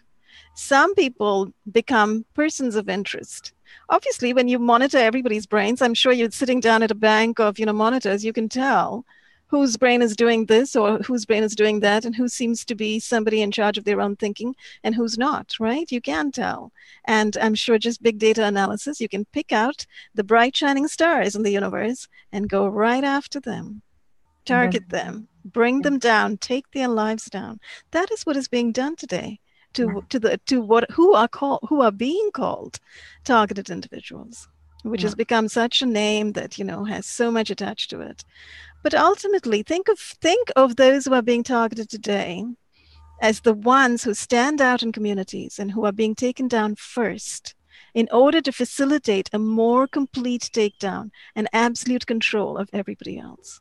Yeah, and actually, the uh, the Second World War, because it's exactly the same uh, Masonic war plan for the uh, Vatican crime cartel being played out, I think it it shows you exactly the template. So when the Nazis marched into Poland, they had the Intelligenzaktion. So before the war, they identified the, the the thinkers and the people who had you know had their their stuff together, so to speak, had a clear mind. And then when the, the Nazis did first the analysis to know who they wanted, who would be a thought leader, who could, you know, articulate themselves, who would be trusted in the community. And then when they marched in, all they did is round them up and shoot them in the head in the street. That was the Intelligenzaktion. And it had two phases. It had the shooting in the head bit, which was the big showdown, but it had absolutely years of monitoring where they identified absolutely everybody who could possibly be a danger. And what's not said, which is I think what I'm seeing more and more, is that there was the big thought leaders and there was all the people who were maybe more quiet but were known in the community to be bright. And they were killed silently in the holocaust later to then leave a society that was uh, yeah a bunch of gibbering morons you know more or less. That's the goal. And they have made it very clear that what they want is they want to have masses of easy to exploit gibbering morons then they want to have a class of uh, sex slaves and prostitutes and they want to have a few technicians, but not too many so that they could actually be a danger because these techies would actually know how to use the weapons, you know. Um, and then the goal is to have these, you know, big emperors using their hookers and uh, yeah, eating and sleeping, and that's it. And the techies take care of everything. Yeah, robots, zombies, cyborgs, and very compliant people. And you know, they're also interested in the global brain. They are interested in the swarm intelligence, the AI that takes that that's everybody's brains connected to the internet, apparently. I mean, yeah, but it's not to, you know, I've never ever seen anybody who just uh, walked across my path because he was AI enabled and he just dazzled me with his incredible intelligence that was, you know, light years ahead of anything I've seen at CERN. It just yes. doesn't happen. So it doesn't seem to be part of the plan. And yet, if you look at those TED Talks, if you go look at DARPA TV, which I certainly, which I've just discovered is a thing, DARPA TV, although I actually have, you know, featured some of their videos before in my Need to Know reports, which I've got to start up again at some point. But um, DARPA TV and these DARPA scientists, and the guys who come out on TED Talks, you know, the the sort of diet in the wool robotics, artificial intelligence scientists who really think AI is the future AI is coming. There is no getting around it. That's what they project. That's what these guys are all projecting that this is the future. This is our techno future. And they put it in terms of, you know, oh, look at humans. You know, for millions of years, they were just using little arrowheads and uh, trying to break stones. And look, we've come such a long way. And the next step in human evolution is connecting our brains to the internet, having nanotech in our brains, and wearing neural lace and neuroprosthetics, and being neurologically enhanced in this fashion, and having all this AI so we can learn languages in a minute or whatever, you know, and um, so forth. I don't know how that's going to help humanity, but these scientists are convinced that's the next step and it's coming. It's like there's no issue of consent or asking anybody's opinion it's coming, according to them. Why? Because they're able to do it. Yeah. I mean, nanotech aerosols, think about it. You know, nobody asked our opinion there. They just started to rain down these nanobots on us. And you know, when I actually look at the, because now the program is being rolled out, um, so we can already tell what the program is. And when I look on the ground, what is the program? I have two major pillars, which is uh, a genocide, targeted killing of families, and especially families of integrity, and if they identify you, they will identify your siblings, your sisters, your cousins, your daughters, more certainly, and your sons, because they'll have similar genetics. So they will assume they will also be do-gooders like you, and they can really be with all of you. So it's this kind of generational targeting that I see for killing. Okay. And the other thing is a massive element of sexual trafficking. It is about sex and killing. That's all it is. And um, there, all I see is really just the dumbest, most gormless, pathetic nonsense. And I think it comes down to the fact that these guys are psychopaths. They seem highly functional, but they're actually mentally degenerate. These people giving the talks, they actually have a screw loose but it just it just works fine. So, for example, in um, in Oxford and especially in physics and maths, you have a lot of people who are high functioning autistic, and you don't notice that there's anything different about them. You know, and then sometimes they would malfunction and it would be like, whoa, what the hell just happened? You know?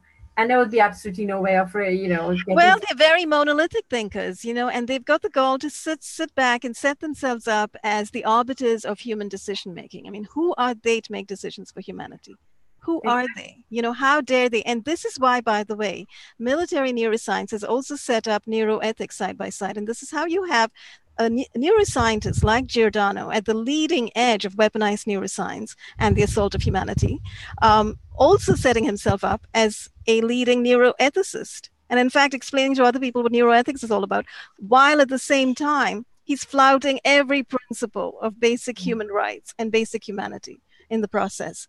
The basic, the first principle of neuroethics should be who exactly decides? Can one human being decide for another human being what should or should not be in their heads? And to what extent their brains should be developed or not be developed you know by artificial techno means yeah this this um, this question has been answered a very very long time ago with a resounding no and this is a you know well established oh going back to delgado etc and brzezinski yes the psycho-civilized society well exactly but both delgado and brzezinski are both psychopathic of right? course they are. We've got yeah. psychopaths, yes. Absolutely. And and this is one thing that I think our society has never wrapped their head around, it, you know, surprisingly, because it's so prevalent. It's you know, I mentioned the autistic people because somehow in our society it's okay to just point at the artists and say, oh yes, they need to have special treatment. Well, they actually don't because they are mostly harmless. Okay. I've never had any problem. But with these psychopaths, they need to be contained the psychopaths are the only breed in our society that needs to have high 24 7 surveillance because they are out of control and they will kill with impunity if they can. Not all of them, of course. Some of them are neuroscientists, you know, like uh, Jim Fallon or what's his name, but they can and they will feel no remorse. They are the most dangerous breed of mental aberration that we have on the planet. And yet they are the people who are flying under the radar all the time you know? And i just wanted to say this example that yes i you know i it's not actually required to be autistic when you're working at cern but it really helps a lot. So you know we used to have a lot of colleagues right who were you know uh, different it's a spectrum right but i've seen some extreme cases that took me totally by surprise and then i had to remember okay hang on you have to talk to rain man this way and then you can get somewhere but don't try to get do it that way but you know with a psychopath there's no way for you to ever get through and this is what I mean. These people seem normal. They give normal talks. You don't think that they are, you know, axe wielding mass murderers, but they are. They actually are. Mm-hmm. Yeah.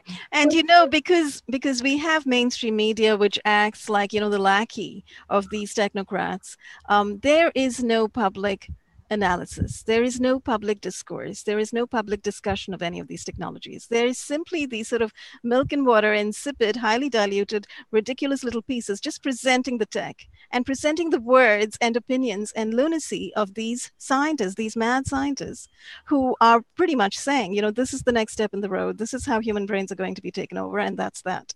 And you've got the Washington Post simply presenting it like, oh, I see, that's the next technology down the road. That's it no discourse nothing. I don't even know i don't even think some of these newspapers allow comments on the online anymore. Some of them have shut those down you know? Oh gosh. Talking about online comments uh, just a while back i have to remember which year one year one or two years ago it was the 60th birthday of the bnd german intelligence. And um, the major uh, state broadcaster as in the state uh, you know brainwash uh, machinery put out an article about happy birthday BND and aren't you great? And they had a little comment while the, the mm-hmm. news article came online at I think 8.30 in the morning.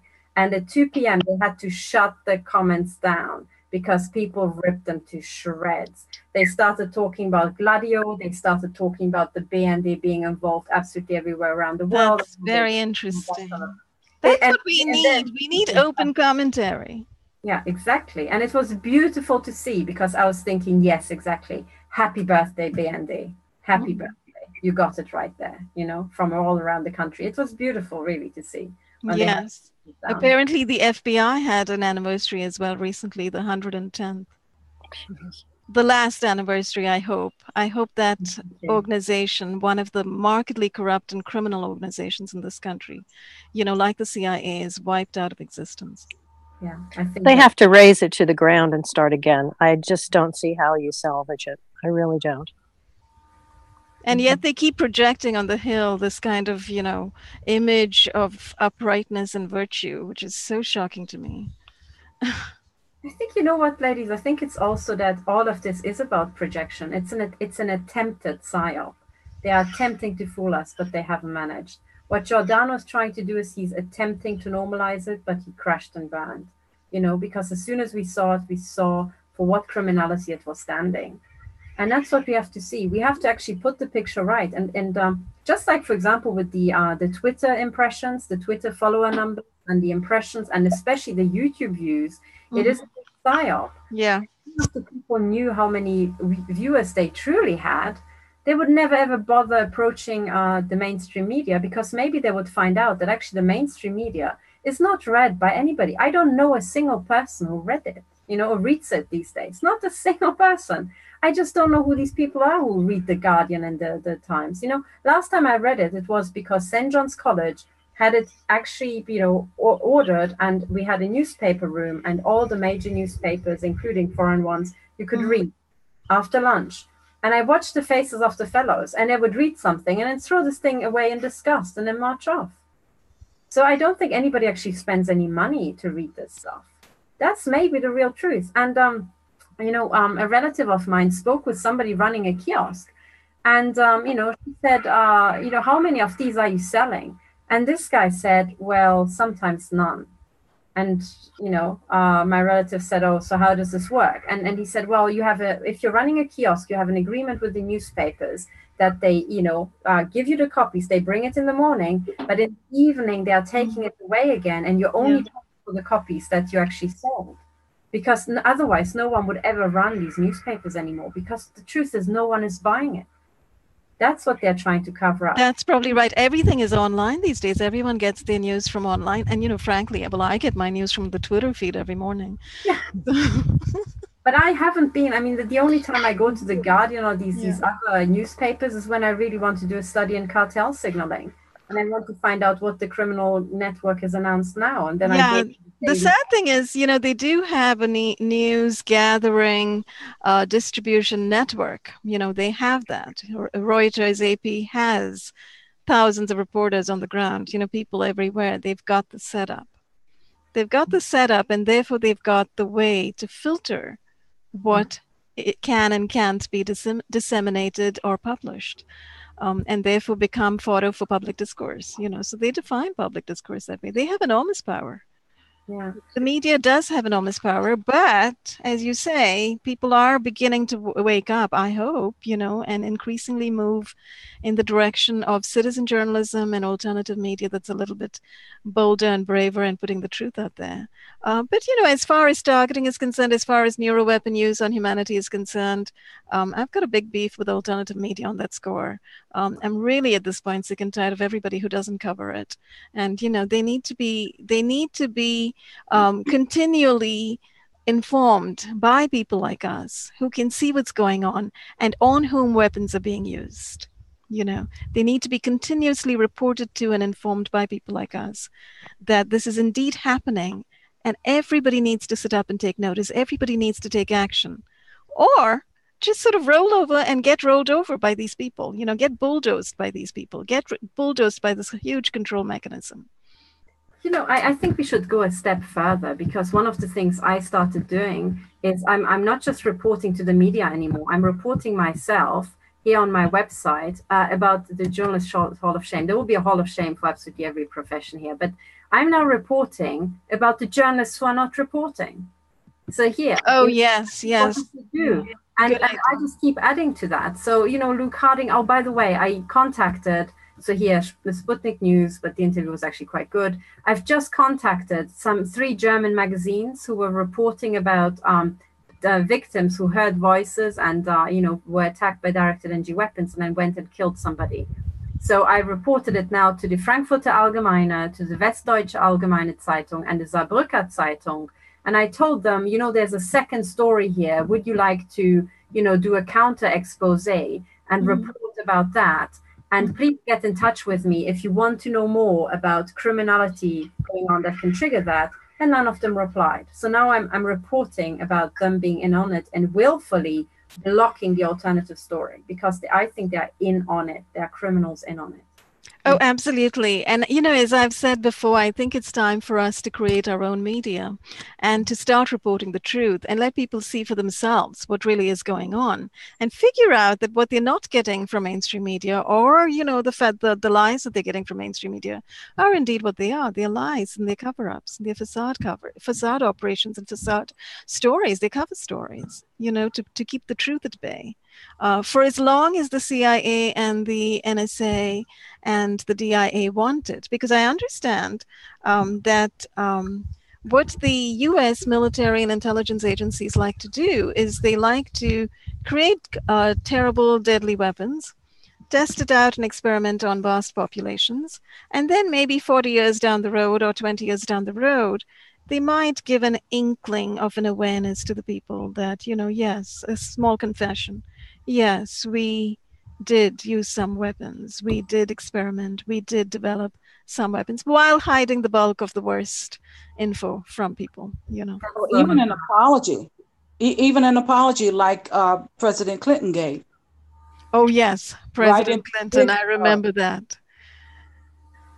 And what was that about? Was that about the use of um, weapons on uh, the, the Guatemalans, the syphilis experiments? Or was it it was actually on, on the use of, of some Americans. Was it the radiation experiments, the plutonium experiments? Maybe that's uh, that was it. The ACH. Tuskegee too, maybe. Yeah, yeah. yeah. Gotta, gotta, look up that reference to be accurate. But uh, but yes, that's a good example. They come along several years. They think that they can come along and do it several years down the road. Well, I think you know we are here to say BS to that. And then you know what? This is one of um, what one of the uh, agents uh, said to me over Twitter. You know, he or she said, "Oh, I think you're, you know, when you're reporting about all the horrific stuff that's being done to you, and then and then the, the person said, "Oh, I think you might be uh, owed an apology."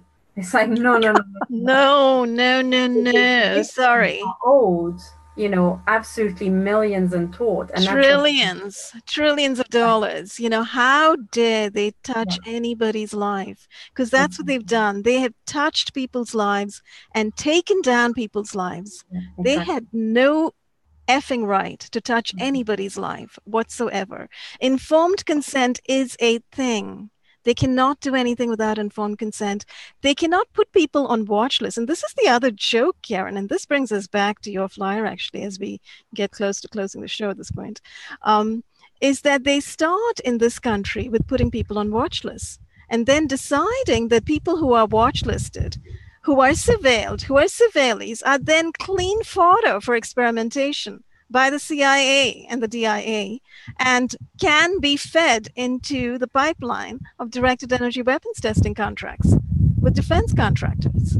You know, because you're under surveillance, you can be used, your body can be used. Are you effing kidding me? Who wrote that down? Who wrote that down in an executive order? Who wrote that down in a military directive? How dare they? What planet are they living on? I mean, it's unconstitutional. I mean, you cannot declare somebody non human. Let me and, let me read the words of President Clinton uh, in October 1995. Mm-hmm. President Clinton apologized Tuesday to the survivors and families of those who unknowingly were subjects of government-sponsored radiation experiments and ordered his cabinet to devise a system of relief, including financial compensation. When the government does wrong, we have a moral responsibility to admit it Clinton said. The duty we owe to one another to tell the truth and to protect our fellow citizens from excesses like these is one we can never walk away from. Saying our government failed in that duty, he apologized to all the American people who must be able to rely upon the United States to keep its word, to tell the truth, and to do the right thing. Oh my God. And that was 40 years later, right? He did that in the 90s. And he's talking about the radiation experiments in the right. 50s. Right. 40 years later. 40 years later, you got, uh, you know, a lukewarm apology from a sex offender. From and who talks about when the government does wrong. No, I'm sorry. That's not that the government doing any wrong. The go- that's just the government doing policy. That's their policy. This is how they've been mm-hmm. operating. And when you look back at the history of illegal experimentation in this country, you begin to understand that. You begin to see it's been policy. This is the way they're mm-hmm. doing it. They have no right to do it. They have to be stopped. Yeah, and they have Yeah. to. So, uh, They've got the attitude, sorry, just very quickly, they've got the attitude that the government owns you. And therefore they can do that. And then, oh, you know, a few decades later say, oops, sorry, do it again. A few Mhm. decades later, apologize again, do it again. I, Mhm. you know, it's insane. Making money. I mean, right now, at this point in time, we all see very clearly how they're making trillions and trillions of dollars over Oh, yeah. contracts. You know, how many Well- people are benefiting from this? How industries are being supported? How society in itself is being upheld by this evil. That speech was made in 1995. The very next year is when I was told by a, a, a first cousin, Millicent, we were told we could blame anything on you. Yeah. The, Yep. the That's how they're Guatemala doing it. That's exactly how they're Mhm. doing it to everybody who's targeted. You know. Yep. and, and The Guatemala syphilis experiment uh, occurred in 1946, and I attended the hearings in 2011 in Washington, D.C. Oh, yes, Millicent. I actually want to cover those hearings one more time. I want to do it on video. I'd like to bring up a few people who actually went to those bioethical commission hearings, and we need to have a roundtable podcast about that because it is outrageous. That was an example of people in 2010 and 2011, right? Um, or was it 2011 and 2012? uh, 2011. 2011, mostly 2011. Maybe it was March and October of that year. There were two sets of meetings in Washington, D.C. and in New York. And hundreds, hundreds of people who were targeted showed up for the meetings and were turned away. Ultimately, I think between 40 to 60 people were allowed to talk and give their testimonial. And at the end of it, you have the, the person in charge, and that was Amy Gutmann, German name. Uh, I'm not saying anymore. I have no idea about her Mhm. background, but German name.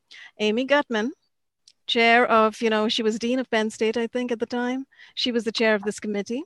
And she and there was somebody else, Valerie somebody, I forget her last name, who the executive director of this committee, who wrote that letter, that famous letter. It's on my website. But it's a letter pretty much telling everybody we are no longer going to be taking any the testimonials of anyone who says that they are targeted, because these are regulatory affairs and uh, justice, criminal justice affairs, to be referred to the Department of Justice. Oh, really? Yeah, well, you know what? It's, it's just as well because um, what we need to do is to we bring criminal charges against every, everybody. Because the other thing I also uh, want to say, for example, they did it in South Africa, the the what's it called, Truth and Reconciliation, where everybody could weep their hearts out, and then they were told to f off, and that was that. This is not how justice is working. No, you don't let them set up the commissions and the tribunals. You see, so this, the President's Bioethical Commission, again, is another example, just like Giordano being a neuroethicist. It's exactly like that.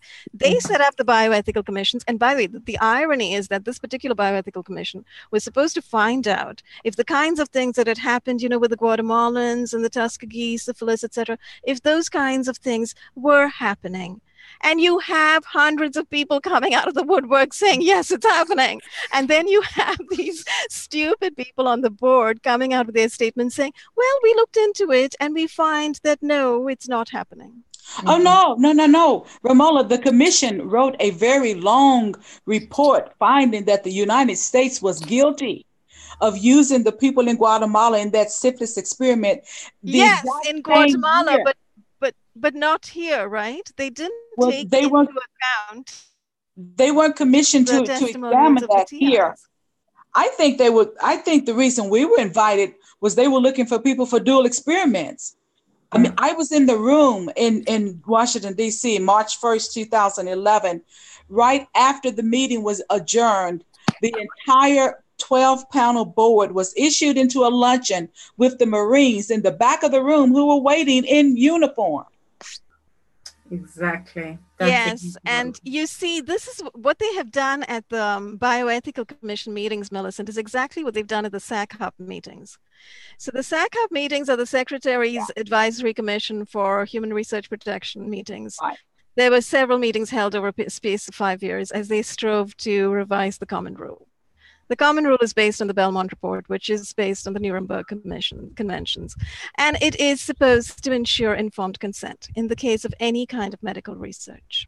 Okay, so however, what this SAC-HOP Commission has done is they have permitted a period for public comment so people came up and spoke. I mean, many people who are targeted have gone up there and spoken. You know, Norman Rubin has gone up and spoken. Carlos Smith has gone up and spoken. Kate Ryan has gone up and spoken. I covered this to some extent, I think, on one of their last final meetings um, before they decided that they're going to finalize the common rule or whatever. And um, that's on my website. That what they what they did there was they took people's testimony. They gave them five minutes to speak at the very end of the day, and they didn't act on it and they one of the things they said, I think, to Kate Ryan, for instance, is that, oh, you know, it's all the the classified people, the CIA. You should you should you should talk to them. Really? We talk to the CIA when we've got the Office of Human Research Protections run through the Department of Health and Human Services, which is mm-hmm. supposed to look into this. How can you talk to the CIA when they cover and classify everything? Exactly. Well, the, what this what these people were um, again, people didn't see it because just because everybody got badged, they know if they write the word ethical. Or look at this war criminal Giordano. Just because see, they made the biggest war criminal the the head of what's it, you know, neuroethics. Nonsense. He's a war criminal. He's a criminal thug. And as soon as they put ethical there and they put them on a panel with name tags, people think, oh, yeah, these people are there to really help us. No, I think Millicent is right. They were there looking for new people to harvest you know, who haven't we harvested enough that they can still make it to Washington D.C. This means that you're still there's still some finances we can get at, and, and still speaking out. Exactly. How come you're still speaking? You've thrown all this like high tech into yeah. still string together a sentence. We need to do research on you, son, because you still can string your sentences together. We made their point. exactly. Exactly. And you know, we, we should mention at this point, and you know, the reason I brought up Amy Gutmann's name being German is obviously because of Project Paperclip. You know, yeah. I don't know if she's not. You know, she, might be from a Nazi family, let's say it. She, she yeah, but that's what I mean. That species exists in this country, okay? And where do they exist? They exist in the military, they exist in the intelligence agencies, and they exist in the universities. They're uh, they're uh, operating in top leadership positions in universities. They're on the boards of directors. What are they called in universities? Um, chancellors, the boards. Yeah of something or the other. So you know that's how they rise to these top ranks, and that's how they're running this whole this whole operation, which is, as Dr. Eric Karlstrom frequently reminds me, is a Zio-Nazi operation. So, yeah, it, it, it well, and I mentioned. I, I mentioned that when I investigated those 12 members, 25% of them had an affiliation with Vanderbilt University. Medical Center, who, by the way, has its own lobbying office in Washington, D.C. Wow. Yes. A university with its own lobby. So it's got to lobby Congress people for something. This is mind blowing. I mean, Millicent's research will knock off over horse it is just, I mean, the stuff you've uncovered. No, we've got enough information and we do so much research. We really don't have enough time to cover all of the stories and the info that we have. I really don't. We do need to, to run our own media operations ourselves. I do think we can absolutely run our own media operations, you know, which will be putting out the absolute truth about what's going on and demanding, demanding that, you know, um, the public become involved, engage in public discourse in everything and make their thoughts and feelings feelings known and heard, because that's the opposite of what's going on currently. What's going on currently is suppression, oppression, repression, and the holding down of the public voice, you know, the keeping down of the public voice. Um, and these people, when the criminals themselves, you know, run the asylum and get to say what's ethical, and get to say what's permissible and what's not. That's when you have a situation of absolute, um, inviolate, corrupt corruption, absolute corruption you know so that's something that it's it's up to us to make a difference but i just want to ask you guys a question. Are you is your feed all being messed with? Because over here on my video everybody's very jerky and awkward. I i can just see you as jerky. I the other ah okay. Yeah so no somebody, i'm not saying it. I'm not saying that. looks beautifully crisp clear and i could hear her perfectly and it's wonderful. Actually one yes, thing i want to say what, what I wanted to say is actually, you know, many people don't know, but Millicent has so much research It is a lot, and we need it for for court cases. One idea was I'm just going to float it live. Maybe you know viewers can also say what they think about it.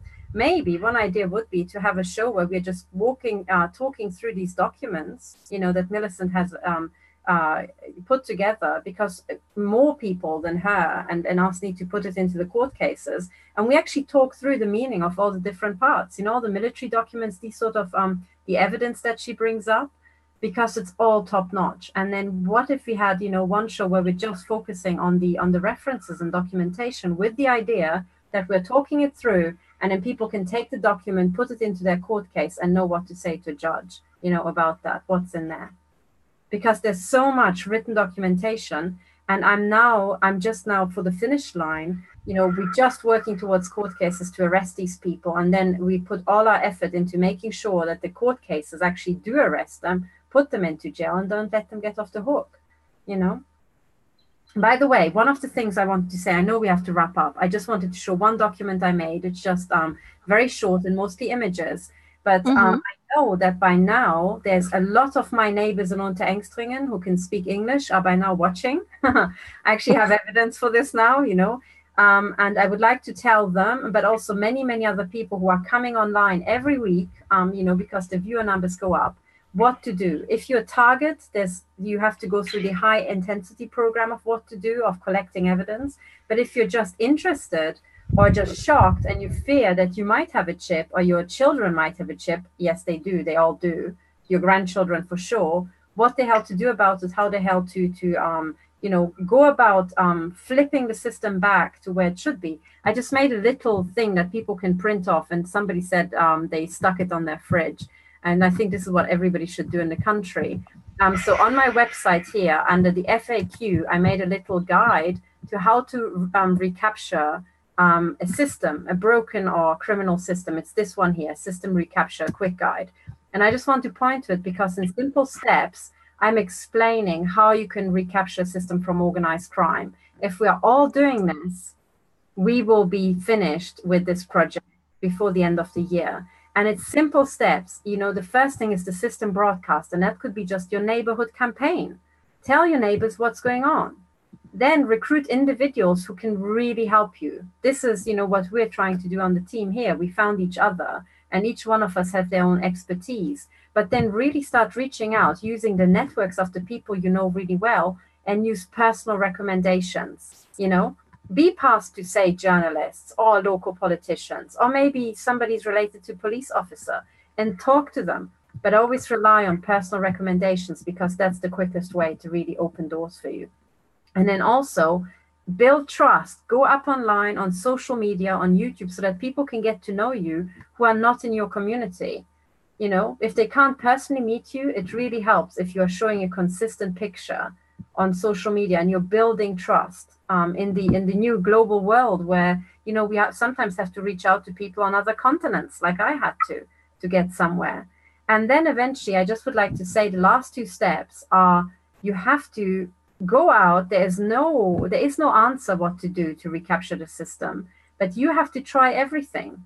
You know little wheels little cycles and just do something do something and then iterate on it. It's much better than to sit on your hands and think oh no i'm not going to do it because it's not good enough. Do something now today this week and then iterate on it. And then eventually what we have to do is we have to identify the key infrastructure that's in deep capture. We have to identify the criminals, okay, here. And this is where my neighbors, I've identified my neighbors, but then it's all about collecting the evidence, okay, really forensic uh, evidence. And then once we're pretty sure about who the criminals are, we go after them in a group in court. This is the plan, you know? And then I would say, as you're doing it every single day, try to help somebody if we're all doing this, if we all help each other, then uh, you know we will get very very far. But also use little diagrams like that to get across to people what they have to do. But these are these are pretty much the steps, you know. And today I had a personal experience because I was um, my car got sabotaged. My car got sabotaged now I think three or four times, but today they knocked it out and. Um, I just pulled over next to a forest and um, I, I, had to flee my flat because of the machine gunning. So I work in my car and then I work all around Switzerland and random places because I can't use my home. So I pulled over. I think my car went over a little little hump, you know, next to the forest, and then the car cut out and it wouldn't restart. So I opened the bonnet and I found a cable that was cl- cut by a wire cutter because the surface was clean. It was just clean. So they just, you know, kind of cut it all around and left a few threads. And then as soon as they cut, you know, I was stuck. But as I was stuck there, eventually, you know, I called uh, road rescue. But then, as I was stuck there, there was somebody else who pulled up, and we just, we were just chatting randomly, you know. And this person really tried to help me. I don't think they were perp because they were parked nearby and they didn't really know that I was going to come but uh, it's little things like that. And he really stuck with me and just you know uh, talked to me all throughout until a rescue was there to make sure i'm not alone you know? That was great. That's really great. And it's little things sometimes but it's it's really these little things that will rebuild everything because we have to rebuild everything from scratch. Were you actually driving when your car stopped running not this time. Last time they EMP'd it, yes, and then it just went kaboom. You know, it just went dead. You know, but last time, fortunately, they did it. Um, a car was waiting, and I was thinking, why is he not driving off? The the light turned green, and I just pulled up behind him, and as soon as I pulled up, all I could hear was kadunk, and then the dashboard was dead. You know, wow. I think it was an electromagnetic pulse, like the done by the German weapons company Diehl and Rheinmetall they are advertising how they can stop cars while they stop mine. And they were kind enough to do it when I, it was just rolling. It wasn't driving at, uh, you know, 100 miles per hour. But there are people who report having that done to them when you're on the motorway, you know? A laser could also have cut your wire. Yes, that's what I, it, I suspect that. But um, in the moment when it was ultimately cut, I managed to ignite it in my garage and drive, and it was fine. Okay. And I that was I don't think it's a laser this time, but last time it most definitely was a you, a hundred percent. And this pretty much looked like somebody took a laser. You know, when you've got many wires and you have these round cutters, and you just cut the the wires one by one, and you leave a few threads, and then you just wait oh, for the oh, okay. wow. I think it right. was. So anyway, ladies, we have to wrap up. So if anyone wants to give their last minute um, talks, go for it. There's just one thing I wanted to add.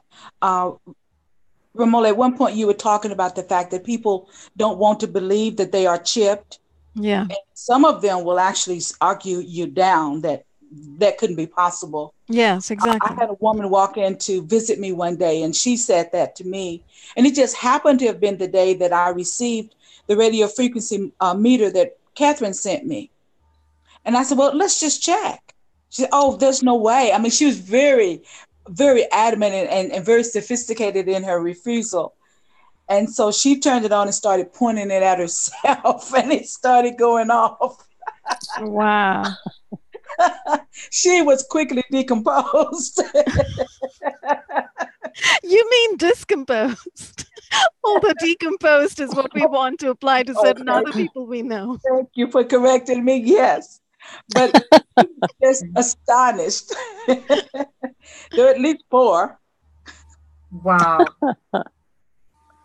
that's amazing. You know that that's what happened to me. I had um, you know, I had uh some relatives and uh they they were absolutely incredulous, but they had little aches and so on and weird aches and joints. And I just said, hey, let's just check. And I pointed and exactly in the joints where they had aches for a long time that they couldn't quite figure out why they thought, oh, it's maybe a sports injury or just, and it wasn't something terrible. It was just like, oh, it really hurts. I should take some drugs. This is the point, right? And actually, it was a chip. It was a chip. Just then, you know. And and then you realize these guys have been making money with this for decades. Sure. Mm, yeah, I would, you know, just as we're all being nanotech, you know, and given that they've got them loaded up in vaccines now as well, um, you know, you have to wonder if everybody is not chipped. The way people behave? Oh, yeah. I'm telling you, I read an article in 2005 that by May of that year, everyone in this nation was supposed to have been chipped. Oh, my. Now, that was 13 years ago. Yeah, and we've got lots of info on various people giving that kind of testimony that, you know, tracking chips were being used, etc. So, so anyway, it's been a very interesting morning. We've kind of gone all over the map over here. We've been discussing psychopaths and uh, weaponized neuroscience criminals and Nazi paper clip, Nazi criminals. Sorry. I said it's the off-roading episode. We went everywhere like a jeep, you know. That's right. Although we started with Katherine, uh, with Karen's uh, fabulous flyer, and let's end with Karen's fabulous flyer. I mean, that's a beautiful and brilliant flyer. It obviously took a lot Thank of you. work and a lot of thinking went into it just to pull all of those references together and uh, both the article references and all the legal references and it's a real heads up to law enforcement out there so if any police or sheriff's deputies are watching us and uh, striving to become better people do go read that flyer and start thinking seriously about what you are saying yes to in your own communities. Because, you know, the takedown of America, like the takedown of any nation, doesn't happen in some kind of large way. It happens in very small ways, and it happens locally. You know, it, ha- it happens locally with individual actions and inactions. And this flyer is a heads up to the police to say, you guys can take some better action, you know?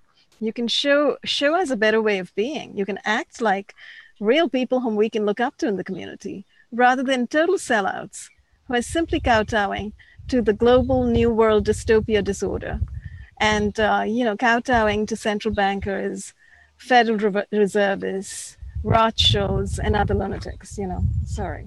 Is this this this um flyer? Is it um in PDF format? Because I think we should just have it up on a website so people download it, print it off, and just most police uh, stations have a post box. Throw it in their post box. Yes, it's a seven-page flyer.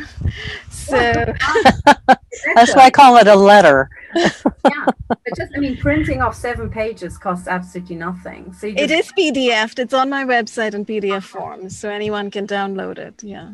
Fantastic because then you know just imagine people would just download it and throw it into the post box of their local police station. You don't even have to talk to them. Just put No, it, you don't. Don't even put your name on it. Just throw it in an envelope and send it, you know, to a bunch of folks. Exactly. Exactly. PD. Yeah. That's what I've told people. I said, look, you know, it's got it's got somebody else's name at the bottom of it. You know, just throw it in the mailbox. Yeah, we're not afraid to have our names on this because I think the police know us really well right now because they're probably sitting around watching Techno Crime Fighters Forum every single week, desperate for tips, desperate for ways to improve their act here. So, you know, we've got lots of advice for them. For one thing, drop those guns, drop those bulletproof vests, you know, stop acting like jerks. What else can we tell them? Protect us. yeah, that, that's what you're paid to do. You're not paid to be parasites. exactly. But I do want to thank the protect us the all peop- else, but that's different. that's, that's my style, you know. yeah, yeah. Well, they should be shamed. I mean, you know, they're doing exactly the opposite of what they thought they were doing, or what they they pretend that they're doing. You know, they're they're just out of control. I mean, when you move over to a totalitarian society, you start hiring different types of people to be police. You know, the police beforehand would be altruistic. They would try to to um, talk people off of uh, bridges and window ledges, and now they're called to a, a potential suicide and they shoot the person. Well, that helped. Yeah. That helped. Yeah. Thank you. Or, You or know. use neurotech to bring that person onto that windowsill on that ledge, ready to. I was going to say now they know about the neurotech because, you know, and this is the other thing. This is something we should spend a whole show on at some point. You know, neurotech are being used to push people to extremes, extremes of emotion, extremes of rage, extremes of fear, and actually engage, get into states of um, suicidal frenzy or homicidal frenzy and engage in those Manchurian candidate acts which so nicely roll into their little FBI corrupt gun control agendas, you know. And I'm speaking as somebody who has always believed in gun control, but who has changed my mind after seeing what's happening in this country. I'm speaking as somebody who always thought of myself as a liberal, social liberal, and progressive. I now see very clearly what's being done with all of these labels, with the left and the right, with um, pro- progressive slash conservative paradigm labels, the left right labels. And, you know, at this point, I'm looking at it in terms of globalist versus nationalist, globalist versus individual sovereignty, and you know the, the globalist thug bankers and criminal cart- cartel networks versus individual freedom, liberty, and humanity. You know, so that's how I'm seeing it these days. That's my politics. So and I think it's the politics of many of us, right? Those of us who can see this. Well, especially because we're all criminal investigators now. So we all just think in terms of the criminals versus us. so. Right. And on that note, I guess at this point we should uh, bid our viewers goodbye and say thank you very much for watching. And um, we will see you again very soon next week and hopefully have um, a very focused show next time. Okay. Bye, everyone. Bye bye.